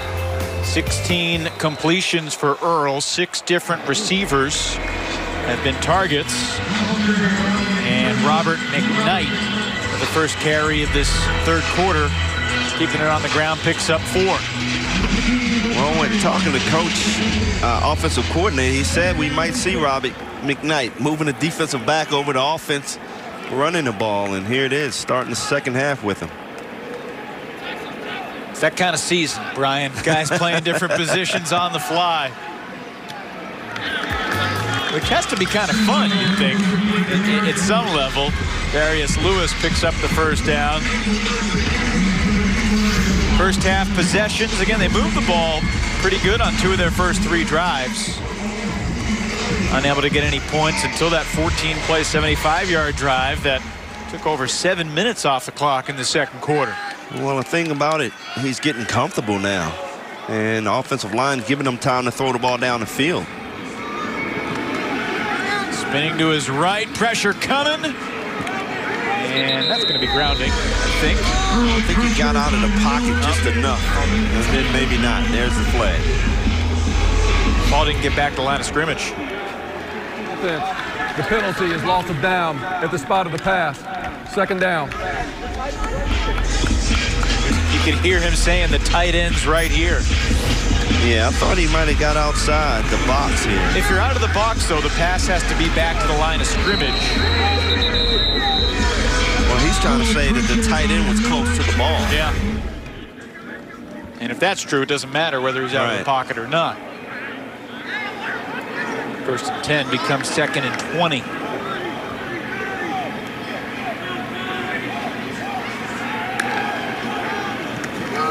Seventh penalty on Abilene Christian. They set up the screen.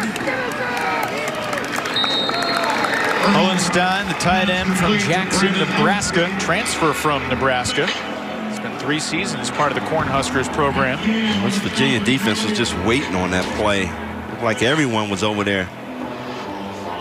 Led by Zane Zandier.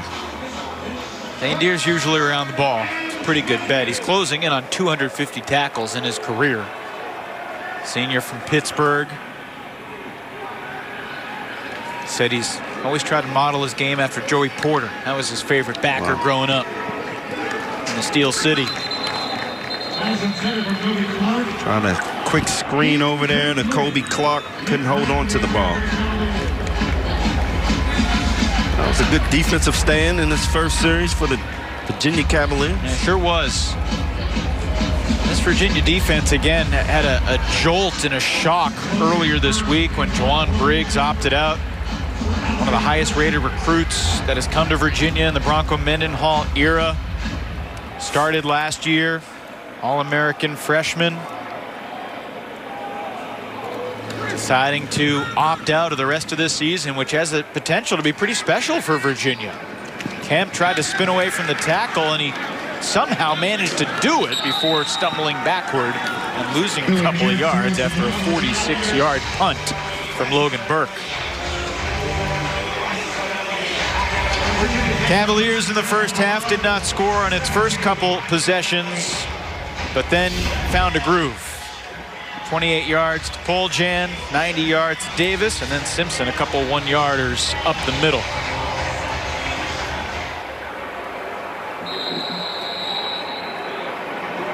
Keytaon Thompson's in the backfield alongside Brennan Armstrong, and he'll flip it to Thompson, get the ball in the hands of the Mississippi State transfer. He's got some explosiveness to his game. Now, if I'm Abilene Christian, every time I see Keytaon in that backfield, I am going to cover him because I know he's going to get the ball somehow, some way. And here, a little screen over to Keytaon. I mean, this guy's a terrific athlete. He's a playmaker, and that's why they try to find him. Bronco Mendenhall said he's one of the cultural examples that we can present. When a player comes into our program, the more you can do, the more valuable you are. And he does everything. Compared him a little bit to Taysom Hill, who's apparently going to start for the Yes, New Orleans Saints tomorrow. Looking for Poljan, and that one's incomplete with Brian Byron Robinson in the coverage. Good job in this secondary for Abilene Christian, not allowing Poljan to get behind him. Making the play. Ryan Stat is playing a good game. Clint Brown raved about this kid. Speaking of him, coming up there, getting in on that tackle. Well, his dad, Ken, was his high school coach, defensive coordinator at College, College Station High School. So son of a coach, he kind of plays like it. Yep. But he's not just playing because he's smart. He's got some athleticism, No, too. he has some ability, and uh, Jack Gibbons uh, in on that play also. I'll tell you, it was Speaking fun, of ability. It was fun talking with Bronco about his son, who's a freshman at Utah State. Breaker Mendenhall working his way up the depth chart out in Logan, Utah. Armstrong on third down hits the big tight end and Poljan hangs on. He had it, almost lost it. Corey Richardson with a hit downfield, but another first down for Virginia. Well, he's just running down the middle of the field wide open, and you're right, Corey Richardson came over and made a big hit, but he was able to hold on to that ball. I thought that ball was going to get out of there.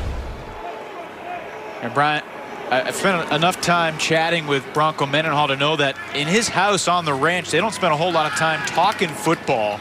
They get away from football when he goes. And here's Keytaon Thompson breaking tackles. Good night. Number 99 to the end zone, 56 yards for Thompson. You have to know where Keytaon Thompson is in that backfield because he's going to get the ball somehow, some way, breaking some tackles up the middle. And then using his speed to get away here. Just a good vision up the middle. He gets hit, he breaks it, and nobody's going to catch him. Byron Robinson had him wrapped up, but he couldn't bring him down.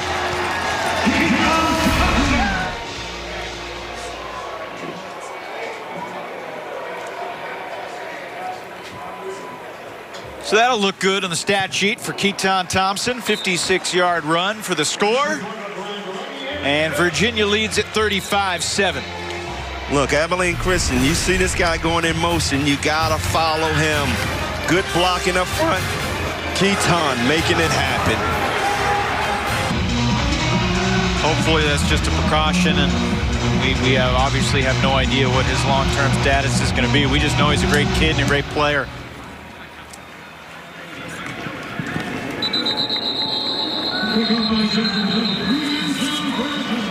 Next possession starts from the 25-yard line. Meanwhile, Snowden went down in the first quarter. I believe he got rolled up on by Nick Jackson.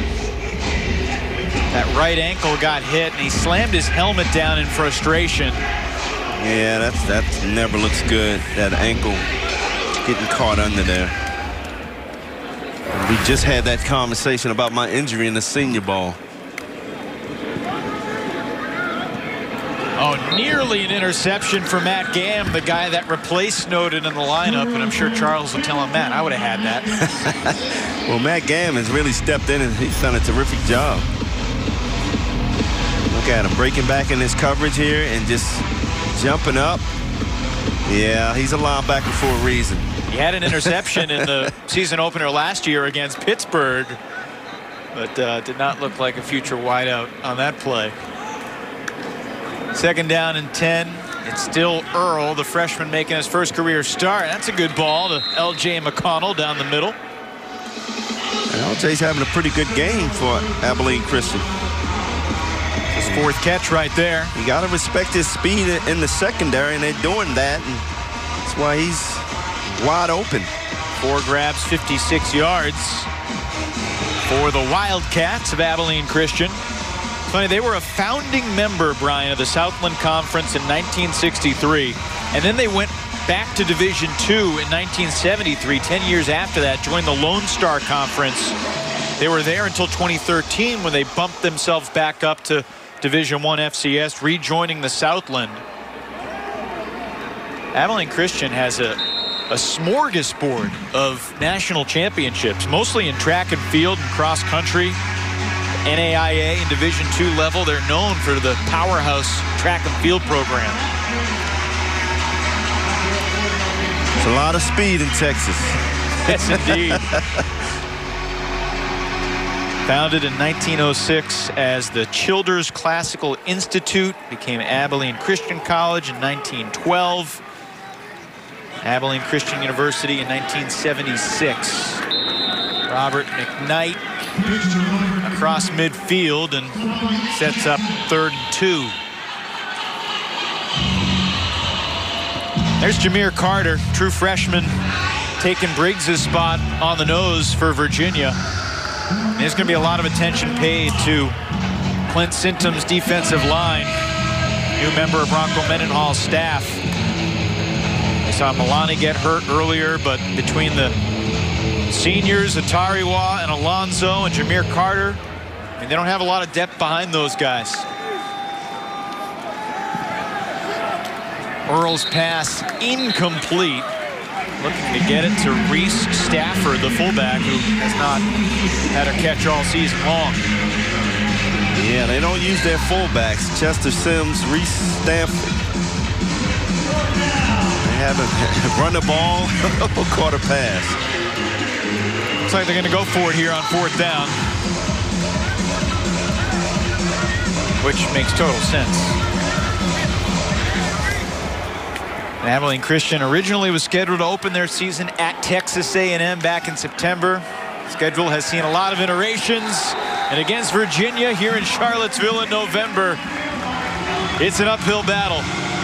Elliott Brown, the senior backer playing in his 39th game for Virginia, makes the stop in the backfield to turn it over on downs. Yeah, the defense, they sniffed this out. Great play by Elliott. Good reaction. Nice play, Virginia. They said, well, once he decided he was going to play during the, the quarantine this past spring when he was basically doing Zooms at home in the afternoon, every morning they would go outside and have football school working on technique. Thompson to Armstrong, deep to Henry. A little trickeration from the Wahoos and a touchdown for Virginia. Touchdown! Wow, what a play there. You know, when Keytaon Thompson's in the game, you expect him to hold on to that ball, but he pitched it back to Brennan Armstrong, who threw a perfect strike to Rashad. 52 yards. Sean Henry coming up with the play here. So now Rashawn Henry as a Cavalier, three catches and three touchdowns. And he had another touchdown called back for penalty in that Miami game. Touchdown maker. Delaney boots it through to make it 42 to 7. Armstrong now 16 completions for 383 yards. Wow, just wide up, busted coverage. Man, no safety nowhere. About 24 yards of completion so far today for Armstrong. I mean, you look at this, the cornerback breaks up where he just left his receiver totally alone. You cannot keep your eyes in the backfield. So Henry with his season-long reception, the transfer from St. Francis where he had 90 catches a year ago in the FCS level. Also a Texas native, so he gets a touchdown against a Texas school here. One play, eight second drive for Virginia. And I mean, Armstrong already easily had his career long passing yards. Now he's closing in on one of the great passing games in Virginia history. He's in the top 10 in that department, and we got a lot of football left to be played. See how much he throws it down the stretch. Here comes a kickoff return from two yards deep in the end zone. And that was not the wisest of ideas because instead of beginning from the 25, they'll start from the 16. D'Angelo Amos holding his right knee.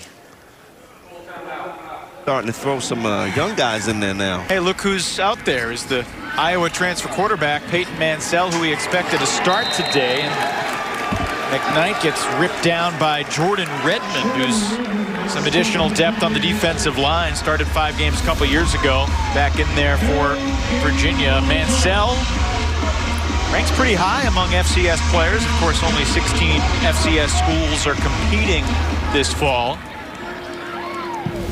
Mansell, five touchdowns, three picks. Played five games as a redshirt freshman at Iowa where he was backing up Nate Stanley for a Hawkeyes team that went 9 and 4 a couple years ago. Hawkeyes team that went to beat Mississippi State in the Outback Bowl that year. Good pass right down the middle there.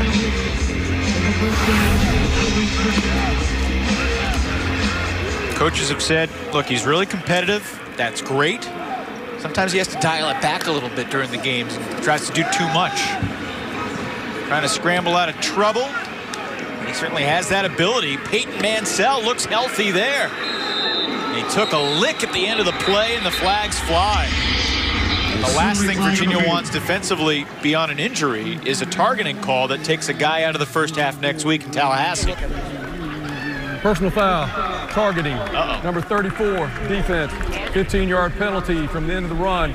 Automatic first down. The guy Previous that play is under further review. The guy who replaced D'Angelo Amos, Donovan Johnson, the freshman safety from New Orleans. Well, how about that just second play in there playing defense, and you get a targeting call. Wow. So that's that's a situation where it looks like Mansell delivers more of a launch with the helmet than uh, No, Johnson did. I wouldn't say that because Mansell, both of those guys had his legs and he was just falling down. He had no control of that. I mean, that was just an open shot. That's not a smart play by Donovan Johnson. But I love the way Mansell jumped up and got pumped up, trying to pump his team up. Yeah. Well, there's there's a lot riding on this call right here. It can be targeting if it's not helmet to helmet.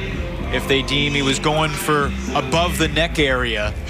Looked like it was, you know. That's tough when the quarterback is going down at the Yeah. same time. But it's a it's a hit that you shouldn't even take right That's there. right. The quarterback's going down. Watch, he's quarterback's going down, and you just kind of curl up. But you're taking a risk there. And that's what foot, the NCAA is trying to prevent. If you don't have to really hit him, don't hit him. Let's hear the call. There was no targeting on the play. Number 34 is not disqualified from the game. Be first down. First down as a result of the play, but Johnson able to stay out there. And Brian, I wish there was something between no penalty and targeting. Like you could call personal foul, late unnecessary roughness there theoretically without calling targeting, and that would send a message without necessarily disqualifying a guy. No, that's true, but the, that's true. But the NCAA is really trying to cut back on helmet-to-helmet contact. So, you know, it, it's tough to do to be an aggressive defensive back or any position. But you got to learn how to do it. Ansel completes it to the perimeter. Moves the chains again. That one to Jordan Brooks West, the SMU and FAU transfer. And now a quick word from Worx. Worx Landroid Robotic Lawnmower. Enter to win at winalandroid.com. The future of lawn care is here.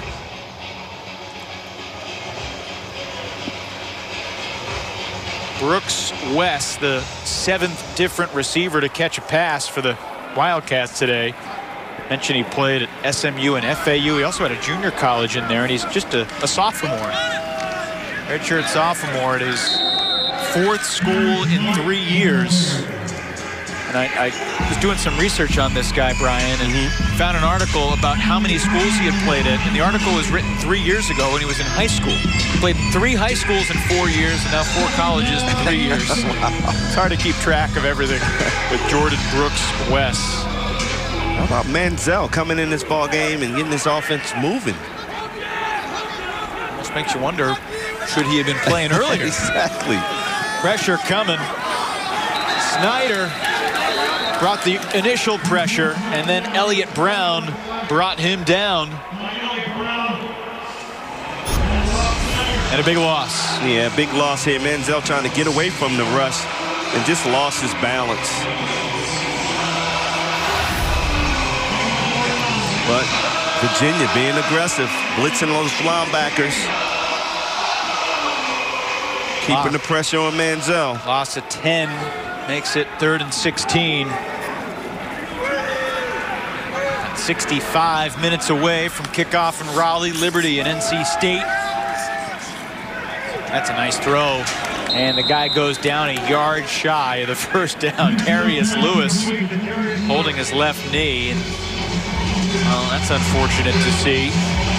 Nice pass by Peyton Mansell. Yeah, I'm- right to the sticks. Looked like he may be cramping up. Looked like the position that he was in. Yeah, just a terrific throw.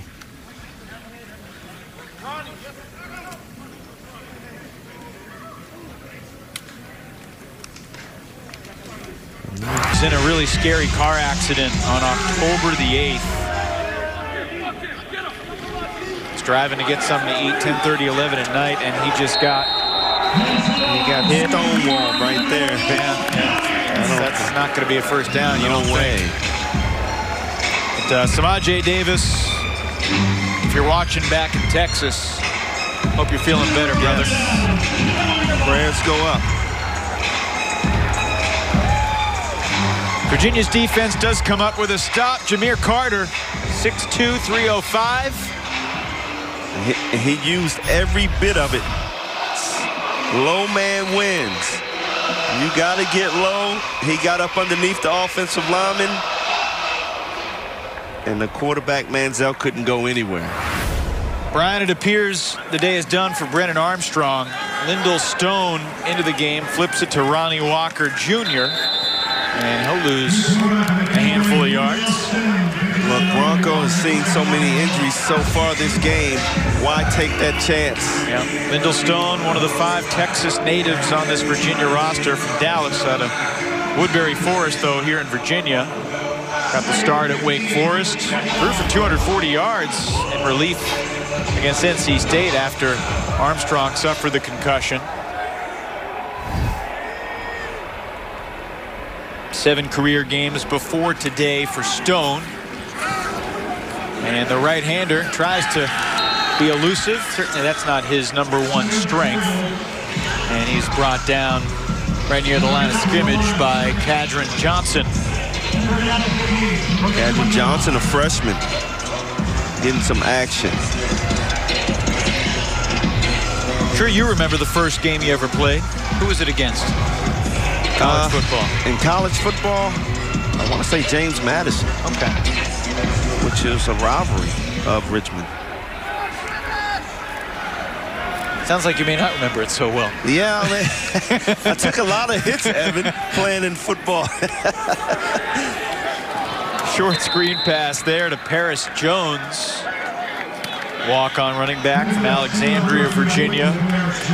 And we're, we're getting to that point of the game, Brian, where some guys who haven't gotten a whole lot of chances to play for Bronco Mendenhall may get a chance to see the field and there's a lot of cool stories out there, guys who have kept their head down in practice, been scout team guys, examples, and this is the type of game when they get a chance to to do it under the lights.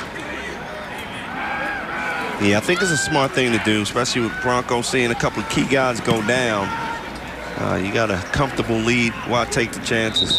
Fair catch made by Harmon at the 27-yard line as we check in with Lindsay down to the sideline. Well, guys, assuming that Peyton Mansell is headed back out on the field, I got a chance to talk with him earlier this week, and the Iowa transfer told me it certainly wasn't easy going from being the backup to the man that everyone was looking to overnight. Peyton said the hardest part has been learning to be patient and wait for his opportunity. Offensive coordinator Josh Lamberson said that patience is definitely one of the areas Mansell has made the biggest strides in. Lamberson said in the beginning of the season he felt Mansell was trying to do too much, but now he's better at letting the game come to him. And patience was a huge part of getting Peyton Mansell to come to Abilene Christian because Josh Lamberson was literally out to dinner. That ball's incomplete. Out to dinner with another quarterback. He had the scholarship papers in hand. He was yeah. going to make the offer when literally at dinner he got a call from Peyton Mansell's high school coach. And Peyton Mansell is, is great friends with Remington Lutz, one of the tight ends, and he's thinking, well, I, we have a player from this coach's team. I got to answer the phone. And he said, look, this guy's going to enter the transfer portal. If you're interested, I think he'd be a great fit for you. They didn't offer this unnamed quarterback at dinner the scholarship, and the next day they offered Peyton Mansell. And that's a dinner that the offensive coordinator, Josh Lamberson, won't soon forget because they, they expect Peyton Mansell to be the quarterback here in Abilene for a couple years. And he's got an arm, he's got a pedigree, he's got to stay healthy. And he got the name. He does have, it's a great quarterback's name, Peyton Mansell. He certainly looks up to Johnny the way he plays. So many Texas kids do. Johnny football. Third down and nine here from Mansell in the Wildcats. Late in the third quarter in Charlottesville on a pleasant Saturday night. Mansell scrambling, and like Johnny, uses his legs, gets the first down, and he keeps rolling, throws a stiff arm downfield on the DB. Wow, he brings the energy. You got to give him a lot of credit. He comes in the game, and it looks like this offense just gets energized, making some plays. Yeah, granted, this is probably not the first team defense on the field, but Pretty talented players you're making plays on. Offense, 15-yard penalty. Repeat third down. Wow, 39-yard scramble coming back to the dismay of Adam Dorrell, the 45-year-old coach who will be 46 next week. So happy early birthday, Adam. well, he said at halftime, you know, he, he loves the energy that the guys are playing with today against Virginia. I mean, guys are playing hard. And that's what you want out of your head coach. And that was an issue for them two weeks ago, and they, they didn't bring the passion against Angelo right. State, and that yep. left the coaching staff really frustrated. But a very different effort today, despite the scoreboard being what it is. So instead of a 39-yard gain, it becomes third and 24. Mansell throws a short screen, and they'd be better off dropping that. Tyrese Weiss did. So instead of a two-yard loss on the completion, it's no gain, and the punting team's coming on.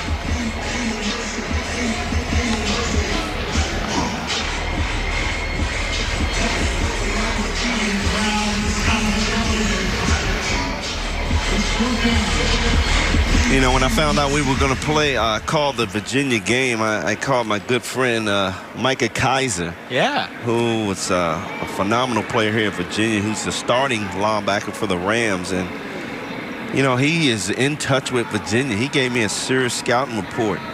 Talked about how great these linebackers are, which he was exactly right. Kemp keeps it in bounds, and a flag flies, and he goes down. What's your connection with Micah?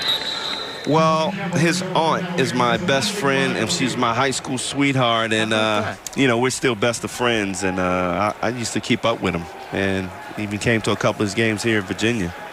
That's cool. Very smart man, and uh, doing well for himself out in LA. During the return, holding number 17 return team. 10-yard penalty will be enforced from the end of the run. First down, Virginia. And there have been a bunch of good linebackers over the past few yes, years coming through here in Charlottesville. And I mean, they've got a bunch now. I mean, Snowden, Jackson, Zandier, Taylor, take your pick. Matt Gahm has looked pretty good today yeah, in a reserve role behind mm -hmm. Snowden. And frankly, he could be a really important guy for this team down the stretch if Snowden needs to sit out for a few weeks. Ronnie Walker Jr. picks up six. Ronnie Walker, another transfer, Indiana, out of Hopewell, Virginia. It used to be the exception when a guy was a transfer. Now it's becoming more and more normal. It seems like more than half the team on both teams, and that's a bit of an exaggeration, but depending on the level, you find a, a lot of transfers out there, and it seems yeah. like it's only going to be a more common thing. Well, it's going to be, it's a different NCAA now. I mean, they've opened up a can of worms, and a lot of these guys are taking advantage of it. And now so many guys can get the, waiver and play next year. Right. Now, I'm curious to ask you, when you were at Richmond, did you ever have a bigger school from the ACC or SEC? Hey, under the table, Brian, we, we got a spot for you. The thing is, you would have had to sit out a year if you transferred. Well, I mean, for me, I was I was going to Maryland uh, out of high school. I had full scholarship, and that was my dream school. And uh, the fact that I played football and baseball was a factor.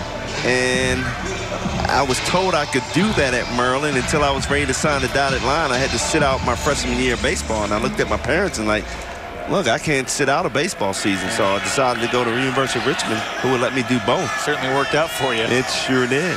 Keytaon Thompson takes the snap for Virginia on third and short.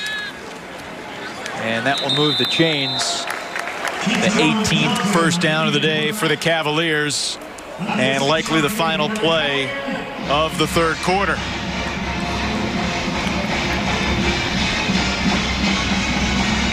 Here at Scott Stadium, Evan Leffler with Brian Jordan, Lindsey Rowley down the sideline as the Cavaliers on their way to a third consecutive win after the one and four start. Florida State, Boston College, and Virginia Tech. The upcoming opponents I had to ask Brian if, if Beat Tech was still written all over the facility after, I mean, they beat them last year, yeah, so the, mission accomplished. But yeah, that, that uh, apparently it's now they haven't spent a ton of time in the facility this year because it's a lot of Zoom meetings and I mean, even the coaches, when the coaches have meetings with one another, they'll be in their own offices doing it on Zoom, Zoom instead of getting yeah. together in a meeting room. It's just part of the the insanity of 2020, yeah, trying to take every caution right. uh, you can. And you know, to Virginia's credit, they have one of the more exemplary records in terms of keeping guys healthy and off the COVID lists. But you can do all the right things, and it can still get you, as we see Ronnie Walker take it up the middle for about four. Yeah, it's been interesting. You know, talk, having a conversation with Charles Snowden and, and looking at his routine during the day. I mean, it's it's interesting to see what these young kids have to do. I mean, you got to be disciplined. You don't want to take any chances uh, of putting your teammates in any harm's way. And, you know, as a team, you just want to stay healthy and on the field. Charles Snowden told us that he was intimidated by Bronco Mendenhall for about two years after he first came here. When we asked Bronco about it. He said, I, I don't try to be intimidating. It just comes naturally. Letting the play clock wind all the way down, and Lindell Stone scurries across the 45 and picks up the first down. No more for his arm than his legs, but nice scamper right there for Stone. Yeah, it looked like he was stopped at first, but found that little gap and weaved his way through it. Now, Brian, this is the first meeting ever between Abilene Christian and Virginia, but I'm going to venture to guess that this is the first college football game in 2020 across the country where you had quarterbacks from the opposite sides, one who had a first name named Stone and the other last name Stone. Yeah, that is interesting. Stone Earl for pickup. Abilene Christian and Lindell Stone for Virginia.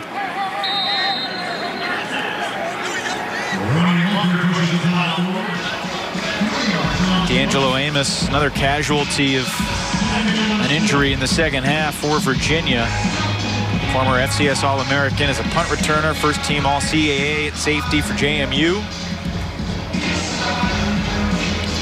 Hopefully he'll be all right over the next couple of weeks. And I think we'll see in the second half Bronco just try to run the ball, run the clock out after those injuries he's seen so far. You would think so. You don't want to take any more chances. Stone, as you say that, completes the pass. exactly. Hits to Meek Starling, who made his first career catch last week against Louisville. His second grab here, brought down by Oseret Nobadeyi. Just had to get that name in there. Nice. Senior, uh, sophomore from Mesquite, Texas, combining for the stop there.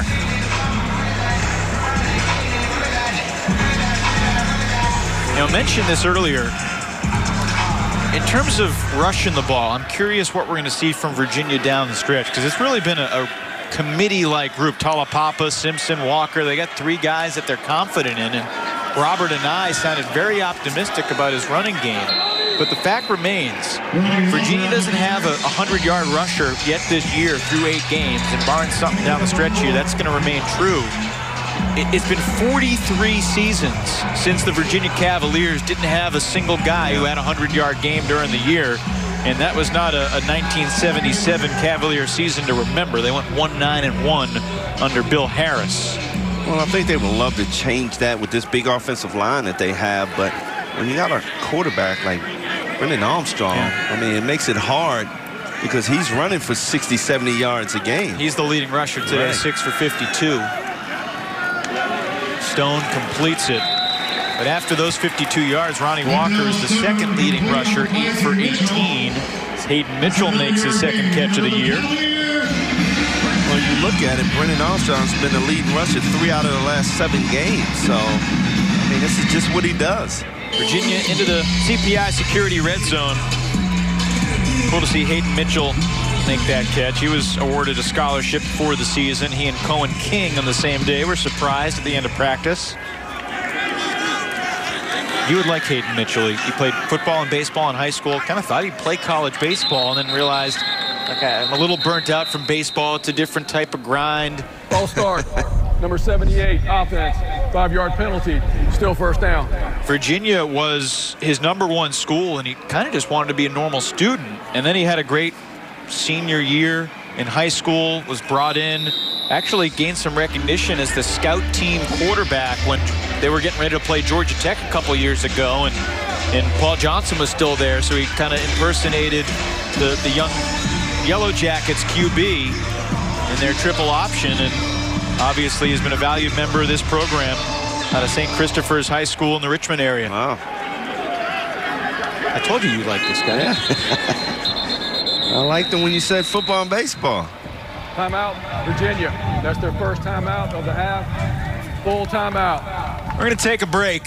When we come back, I'm going to ask Brian if anyone ever told him he When it came time for Mitchell to choose a jersey number, he chose number 18, which is what Hagens wore while he was at UVA. Great stuff. That's cool. Virginia with the football back inside the red zone.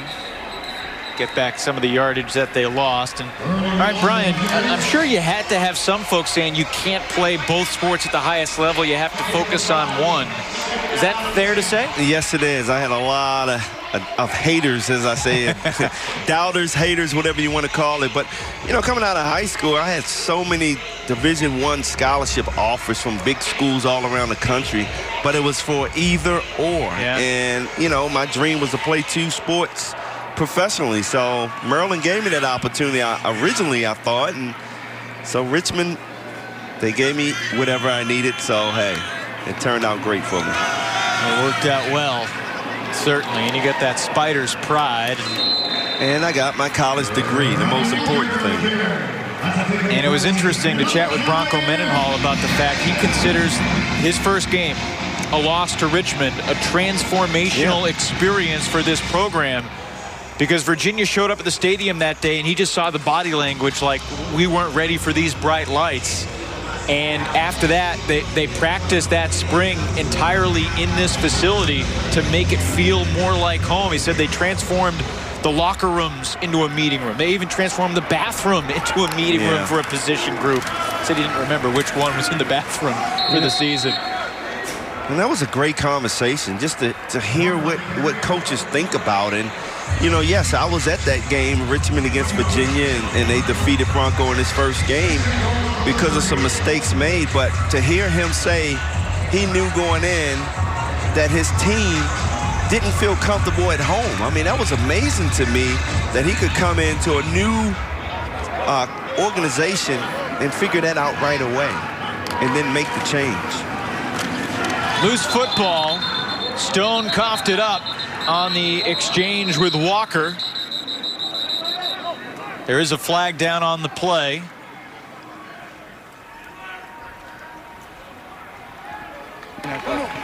Prior to the snap, false start, number 18, offense, five-yard penalty, still second down. Hope there's no fine print that says a, a false start. You got to get back the scholarship that you got. I was just about to say we just gave Mitchell a lot of love there to jump offside. Not in the fourth quarter when you're up by 35, that's for sure. Still a, a teachable moment there for Mitchell. He's just a junior. So second and goal from the eight-yard line.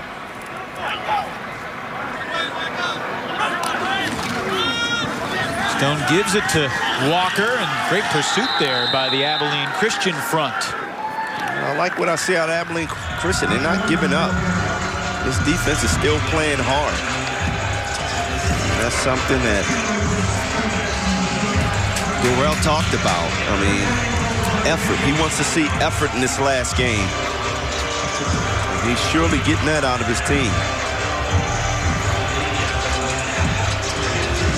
Third and goal for Virginia. Under seven minutes to play.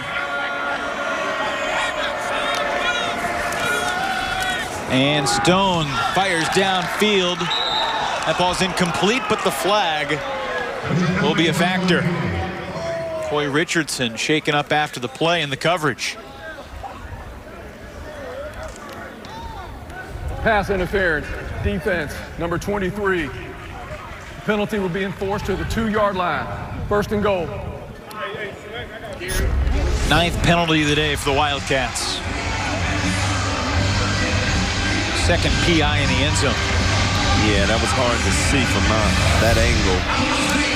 He was definitely hanging on the jersey. Most times in a game this year, the Wildcats have been penalized. I was going to say that nose guard was lined up certainly in the neutral zone over the football. Virginia trying to tack on an insurance touchdown, and the whistle blew before the pile surged into the end zone. So that play, play blown dead at the one. A host of Wildcats tacklers unable to get Walker down. Great job holding him up, and then those big linemen of Virginia coming late to push him forward. Well, there are some folks somewhere potentially who are interested in the outcome of this drive, wanting another touchdown perhaps. Another good play by Abilene Christian, defensive line. And Jaron Parker, the linebacker, came up. There's Thielen again.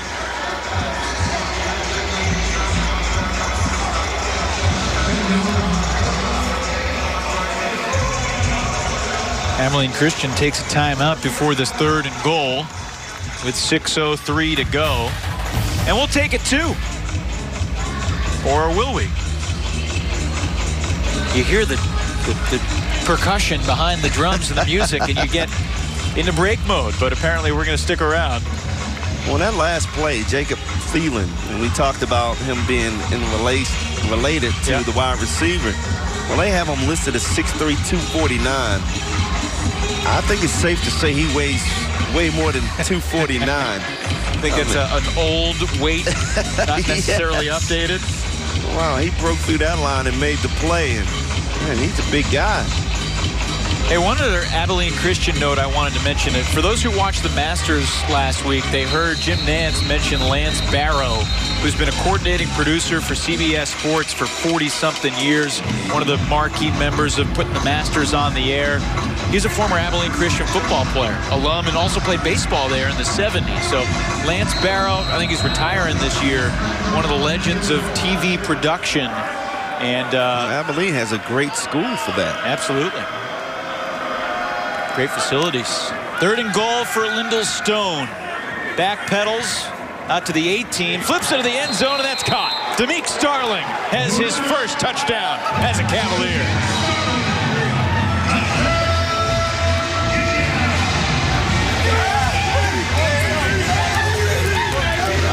Uh, Lindell Stone just dropped back. He dropped back about 15 yards and just floated that ball in. And Demick just running underneath it for the touchdown. A two-yard touchdown pass from Stone to Starling to culminate a 69-yard, 17-play drive. If it had lasted three seconds longer, it would have taken exactly 11 minutes. Wow.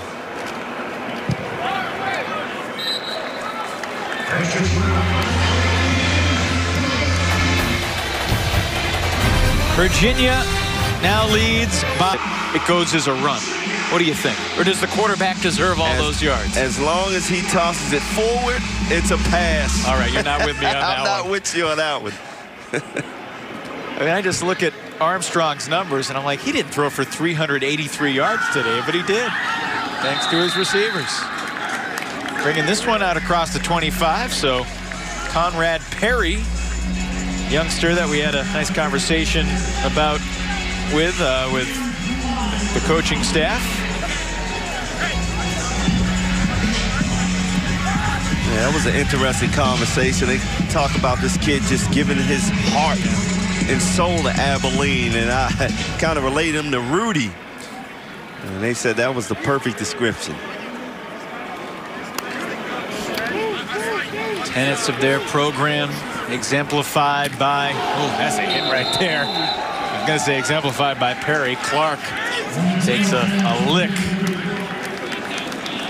downfield. Chase Chalmers, redshirt freshman, D-back, getting a chance to Wow, that could have been targeting right there. I mean, read my mind. wow.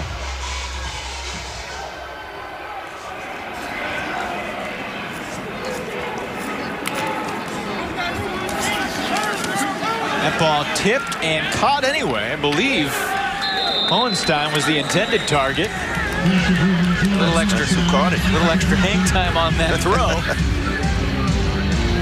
I'll be interested to hear what uh, Adam Dorrell has to say after the game about Stone Earl and Peyton Mansell. Because, I mean, obviously Peyton Mansell's healthy enough to play some here in the second half. And who knows, maybe there was some issue internally, and that's fine. He's their Iowa transfer, the guy who's been the starter all year long. Now five of eight throwing the ball for 72 yards. Darren Klein in the coverage there. Second year Cavalier. Going deep into the depth chart on Yes, defense we down are. the stretch here. But he, Klein did a great job dropping back into his zone. And boy, that ball was right in his hands. Again, the linebackers can't hold on to the ball. Third down and six.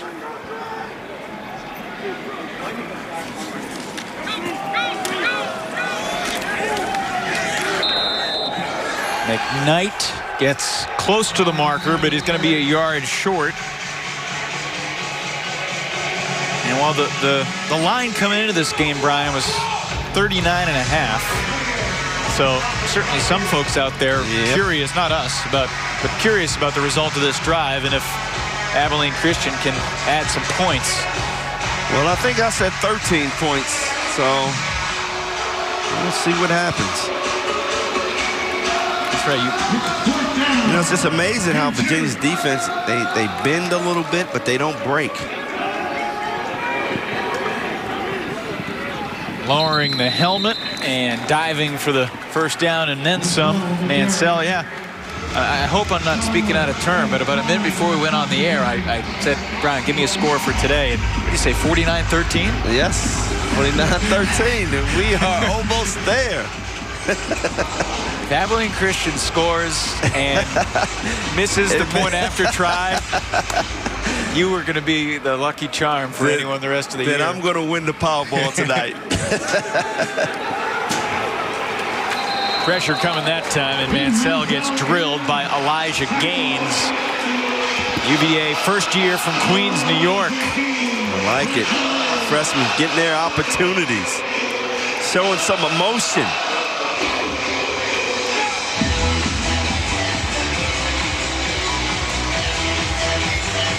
Brennan Armstrong's enjoying it. Yeah, this is what Bronco wants to see. See what these young guys can do when they get in the game. Show some emotion. And we see uh, Olasunkanmi Agunloye, freshman, playing his first snaps of the season on defense, 71 on the line. Ball complete, but it's going to be third and nine or 10 for the Wildcats here as the clock continues to tick toward two and a half minutes to go. Davion Johnson with that acrobatic grab. And funny thing is, none of his brothers have other names than the M name. Bronco's the only one that goes by something different. But it, man, that name fits him. He said this past week that he knew West Texas real well, coaching in New Mexico, coaching in junior college, scouting in that area. Said he and Holly used to drive all around those small towns and high schools in West Texas. And he said, I love those years. I just wish it had been on horseback instead of in a car. exactly. Another first down for Abilene Christian. He's, he's obviously valued giving his uh, son's unique name. Cutter Bronk, Breaker Blue, and Raider Steel is the youngest. Says, I think it's important. Unique challenges that come with having a unique name. Said if he had a, if he had had a daughter, his, the name might have been Remington Steel. Calling for the flag, and there it comes. Intended for Kobe Clark, and I think Darren Klein's going to be guilty of the penalty here with 2.02 left. Yeah, that was a good call. I mean, a good pass to Kobe Clark, and Klein was all over him. Pass interference. Defense, number 37. Automatic first down at the spot of the foul. I mean, Klein really played good defense here. Took the inside away, then he gave it up. That little hesitation. That's a close play, though. And that position there, you cannot give up the inside, and he did that.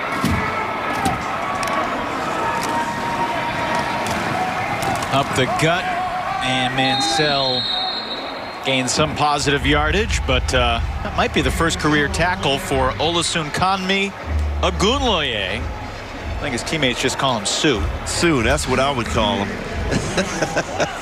Well, they, they don't go for Olusegun Oluwatimi for the starting center. He's just Olu. There's uh, Agunloye from Lindenhurst, New York.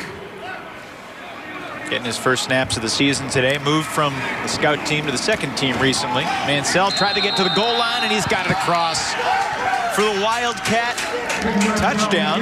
Touchdown, Abilene Christian. Didn't see the signal, but yeah, they're celebrating like it's a score. And they're Wow. going bowling, and they're getting all the flags that the officials can find. They don't care. Come on, celebrate. That was fantastic. After the play, unsportsmanlike conduct.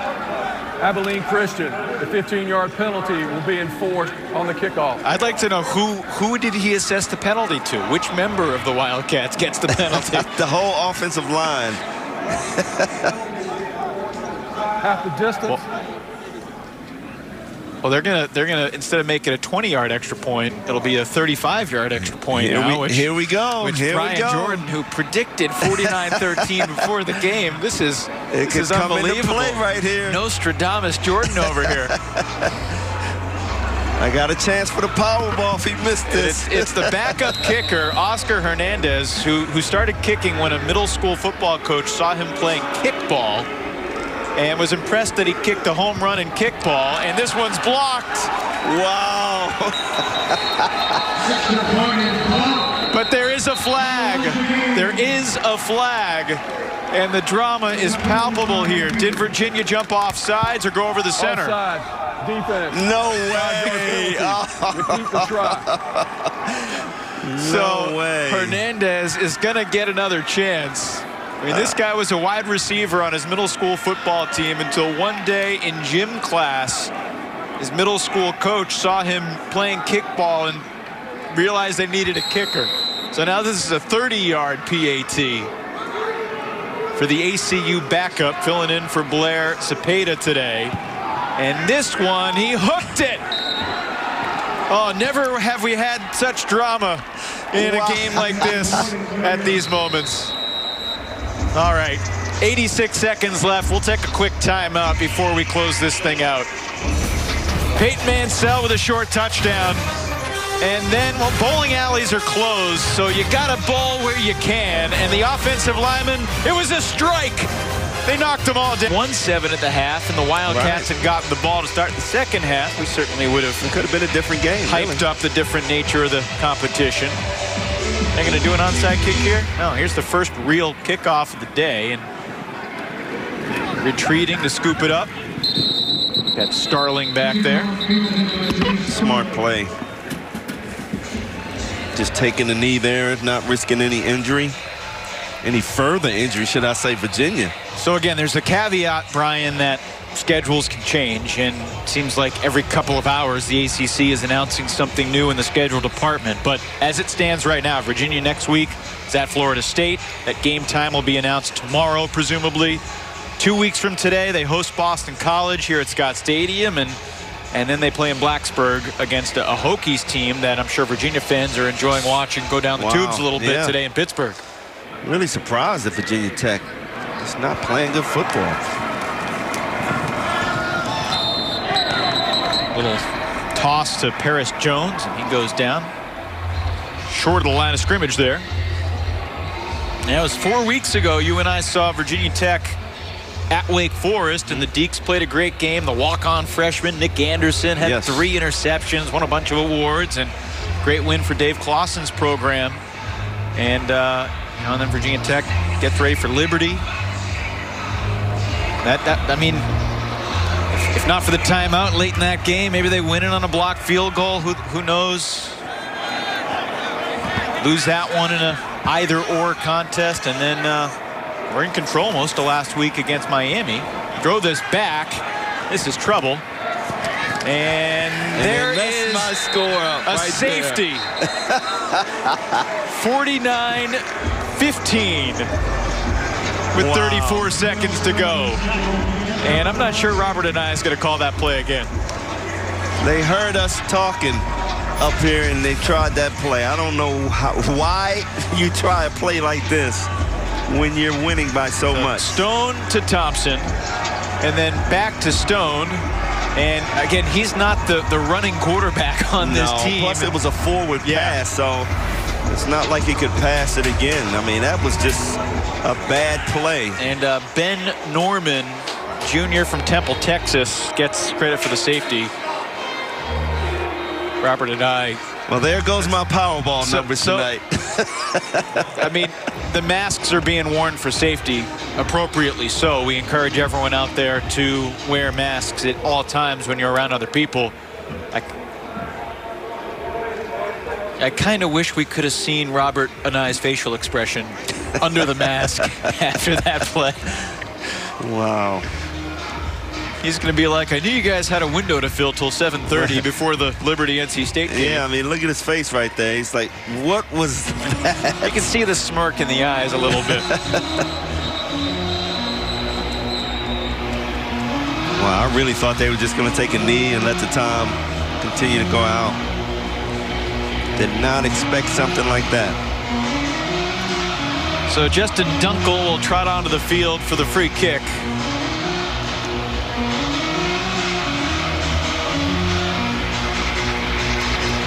Well, it's it's been a day for the for the football bingo card. We had the, the multiple illegal men downfield penalties. You've had pass interference in the end zone. You've had 90-yard touchdown, and now a final minute safety in a game where the outcome was all but decided.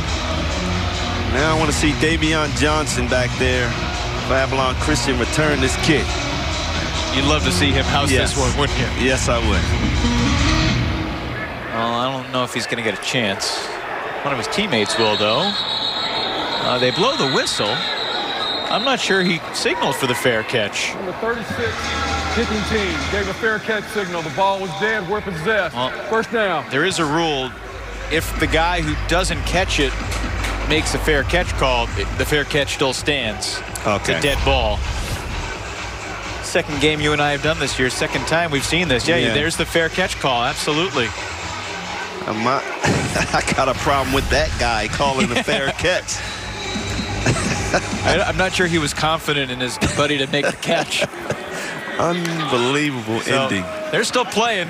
No knees, final game of the year. And down the middle, Kobe Clark spinning in the secondary inside the 30. Clock stops in the first down.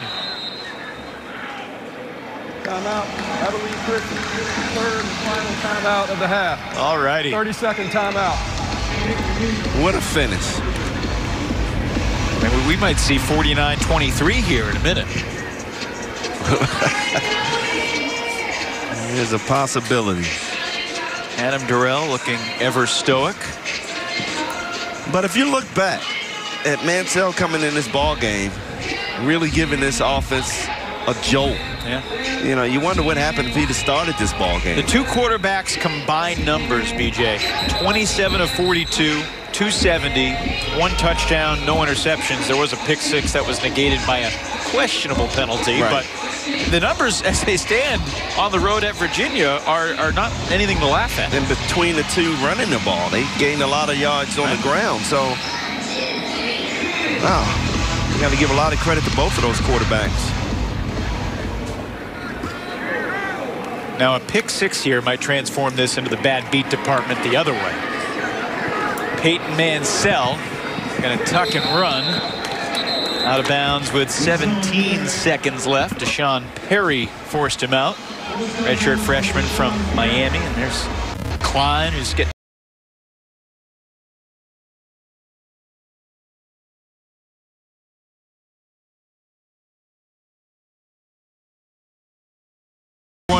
Wildcats out of timeouts. So they cannot uh, stop the clock if this lands in bounds shy of a first. Which doesn't seem all that relevant, a 34-point game, but it feels relevant when you're here at the stadium. And they need the first down to stop the clock. They'll get it.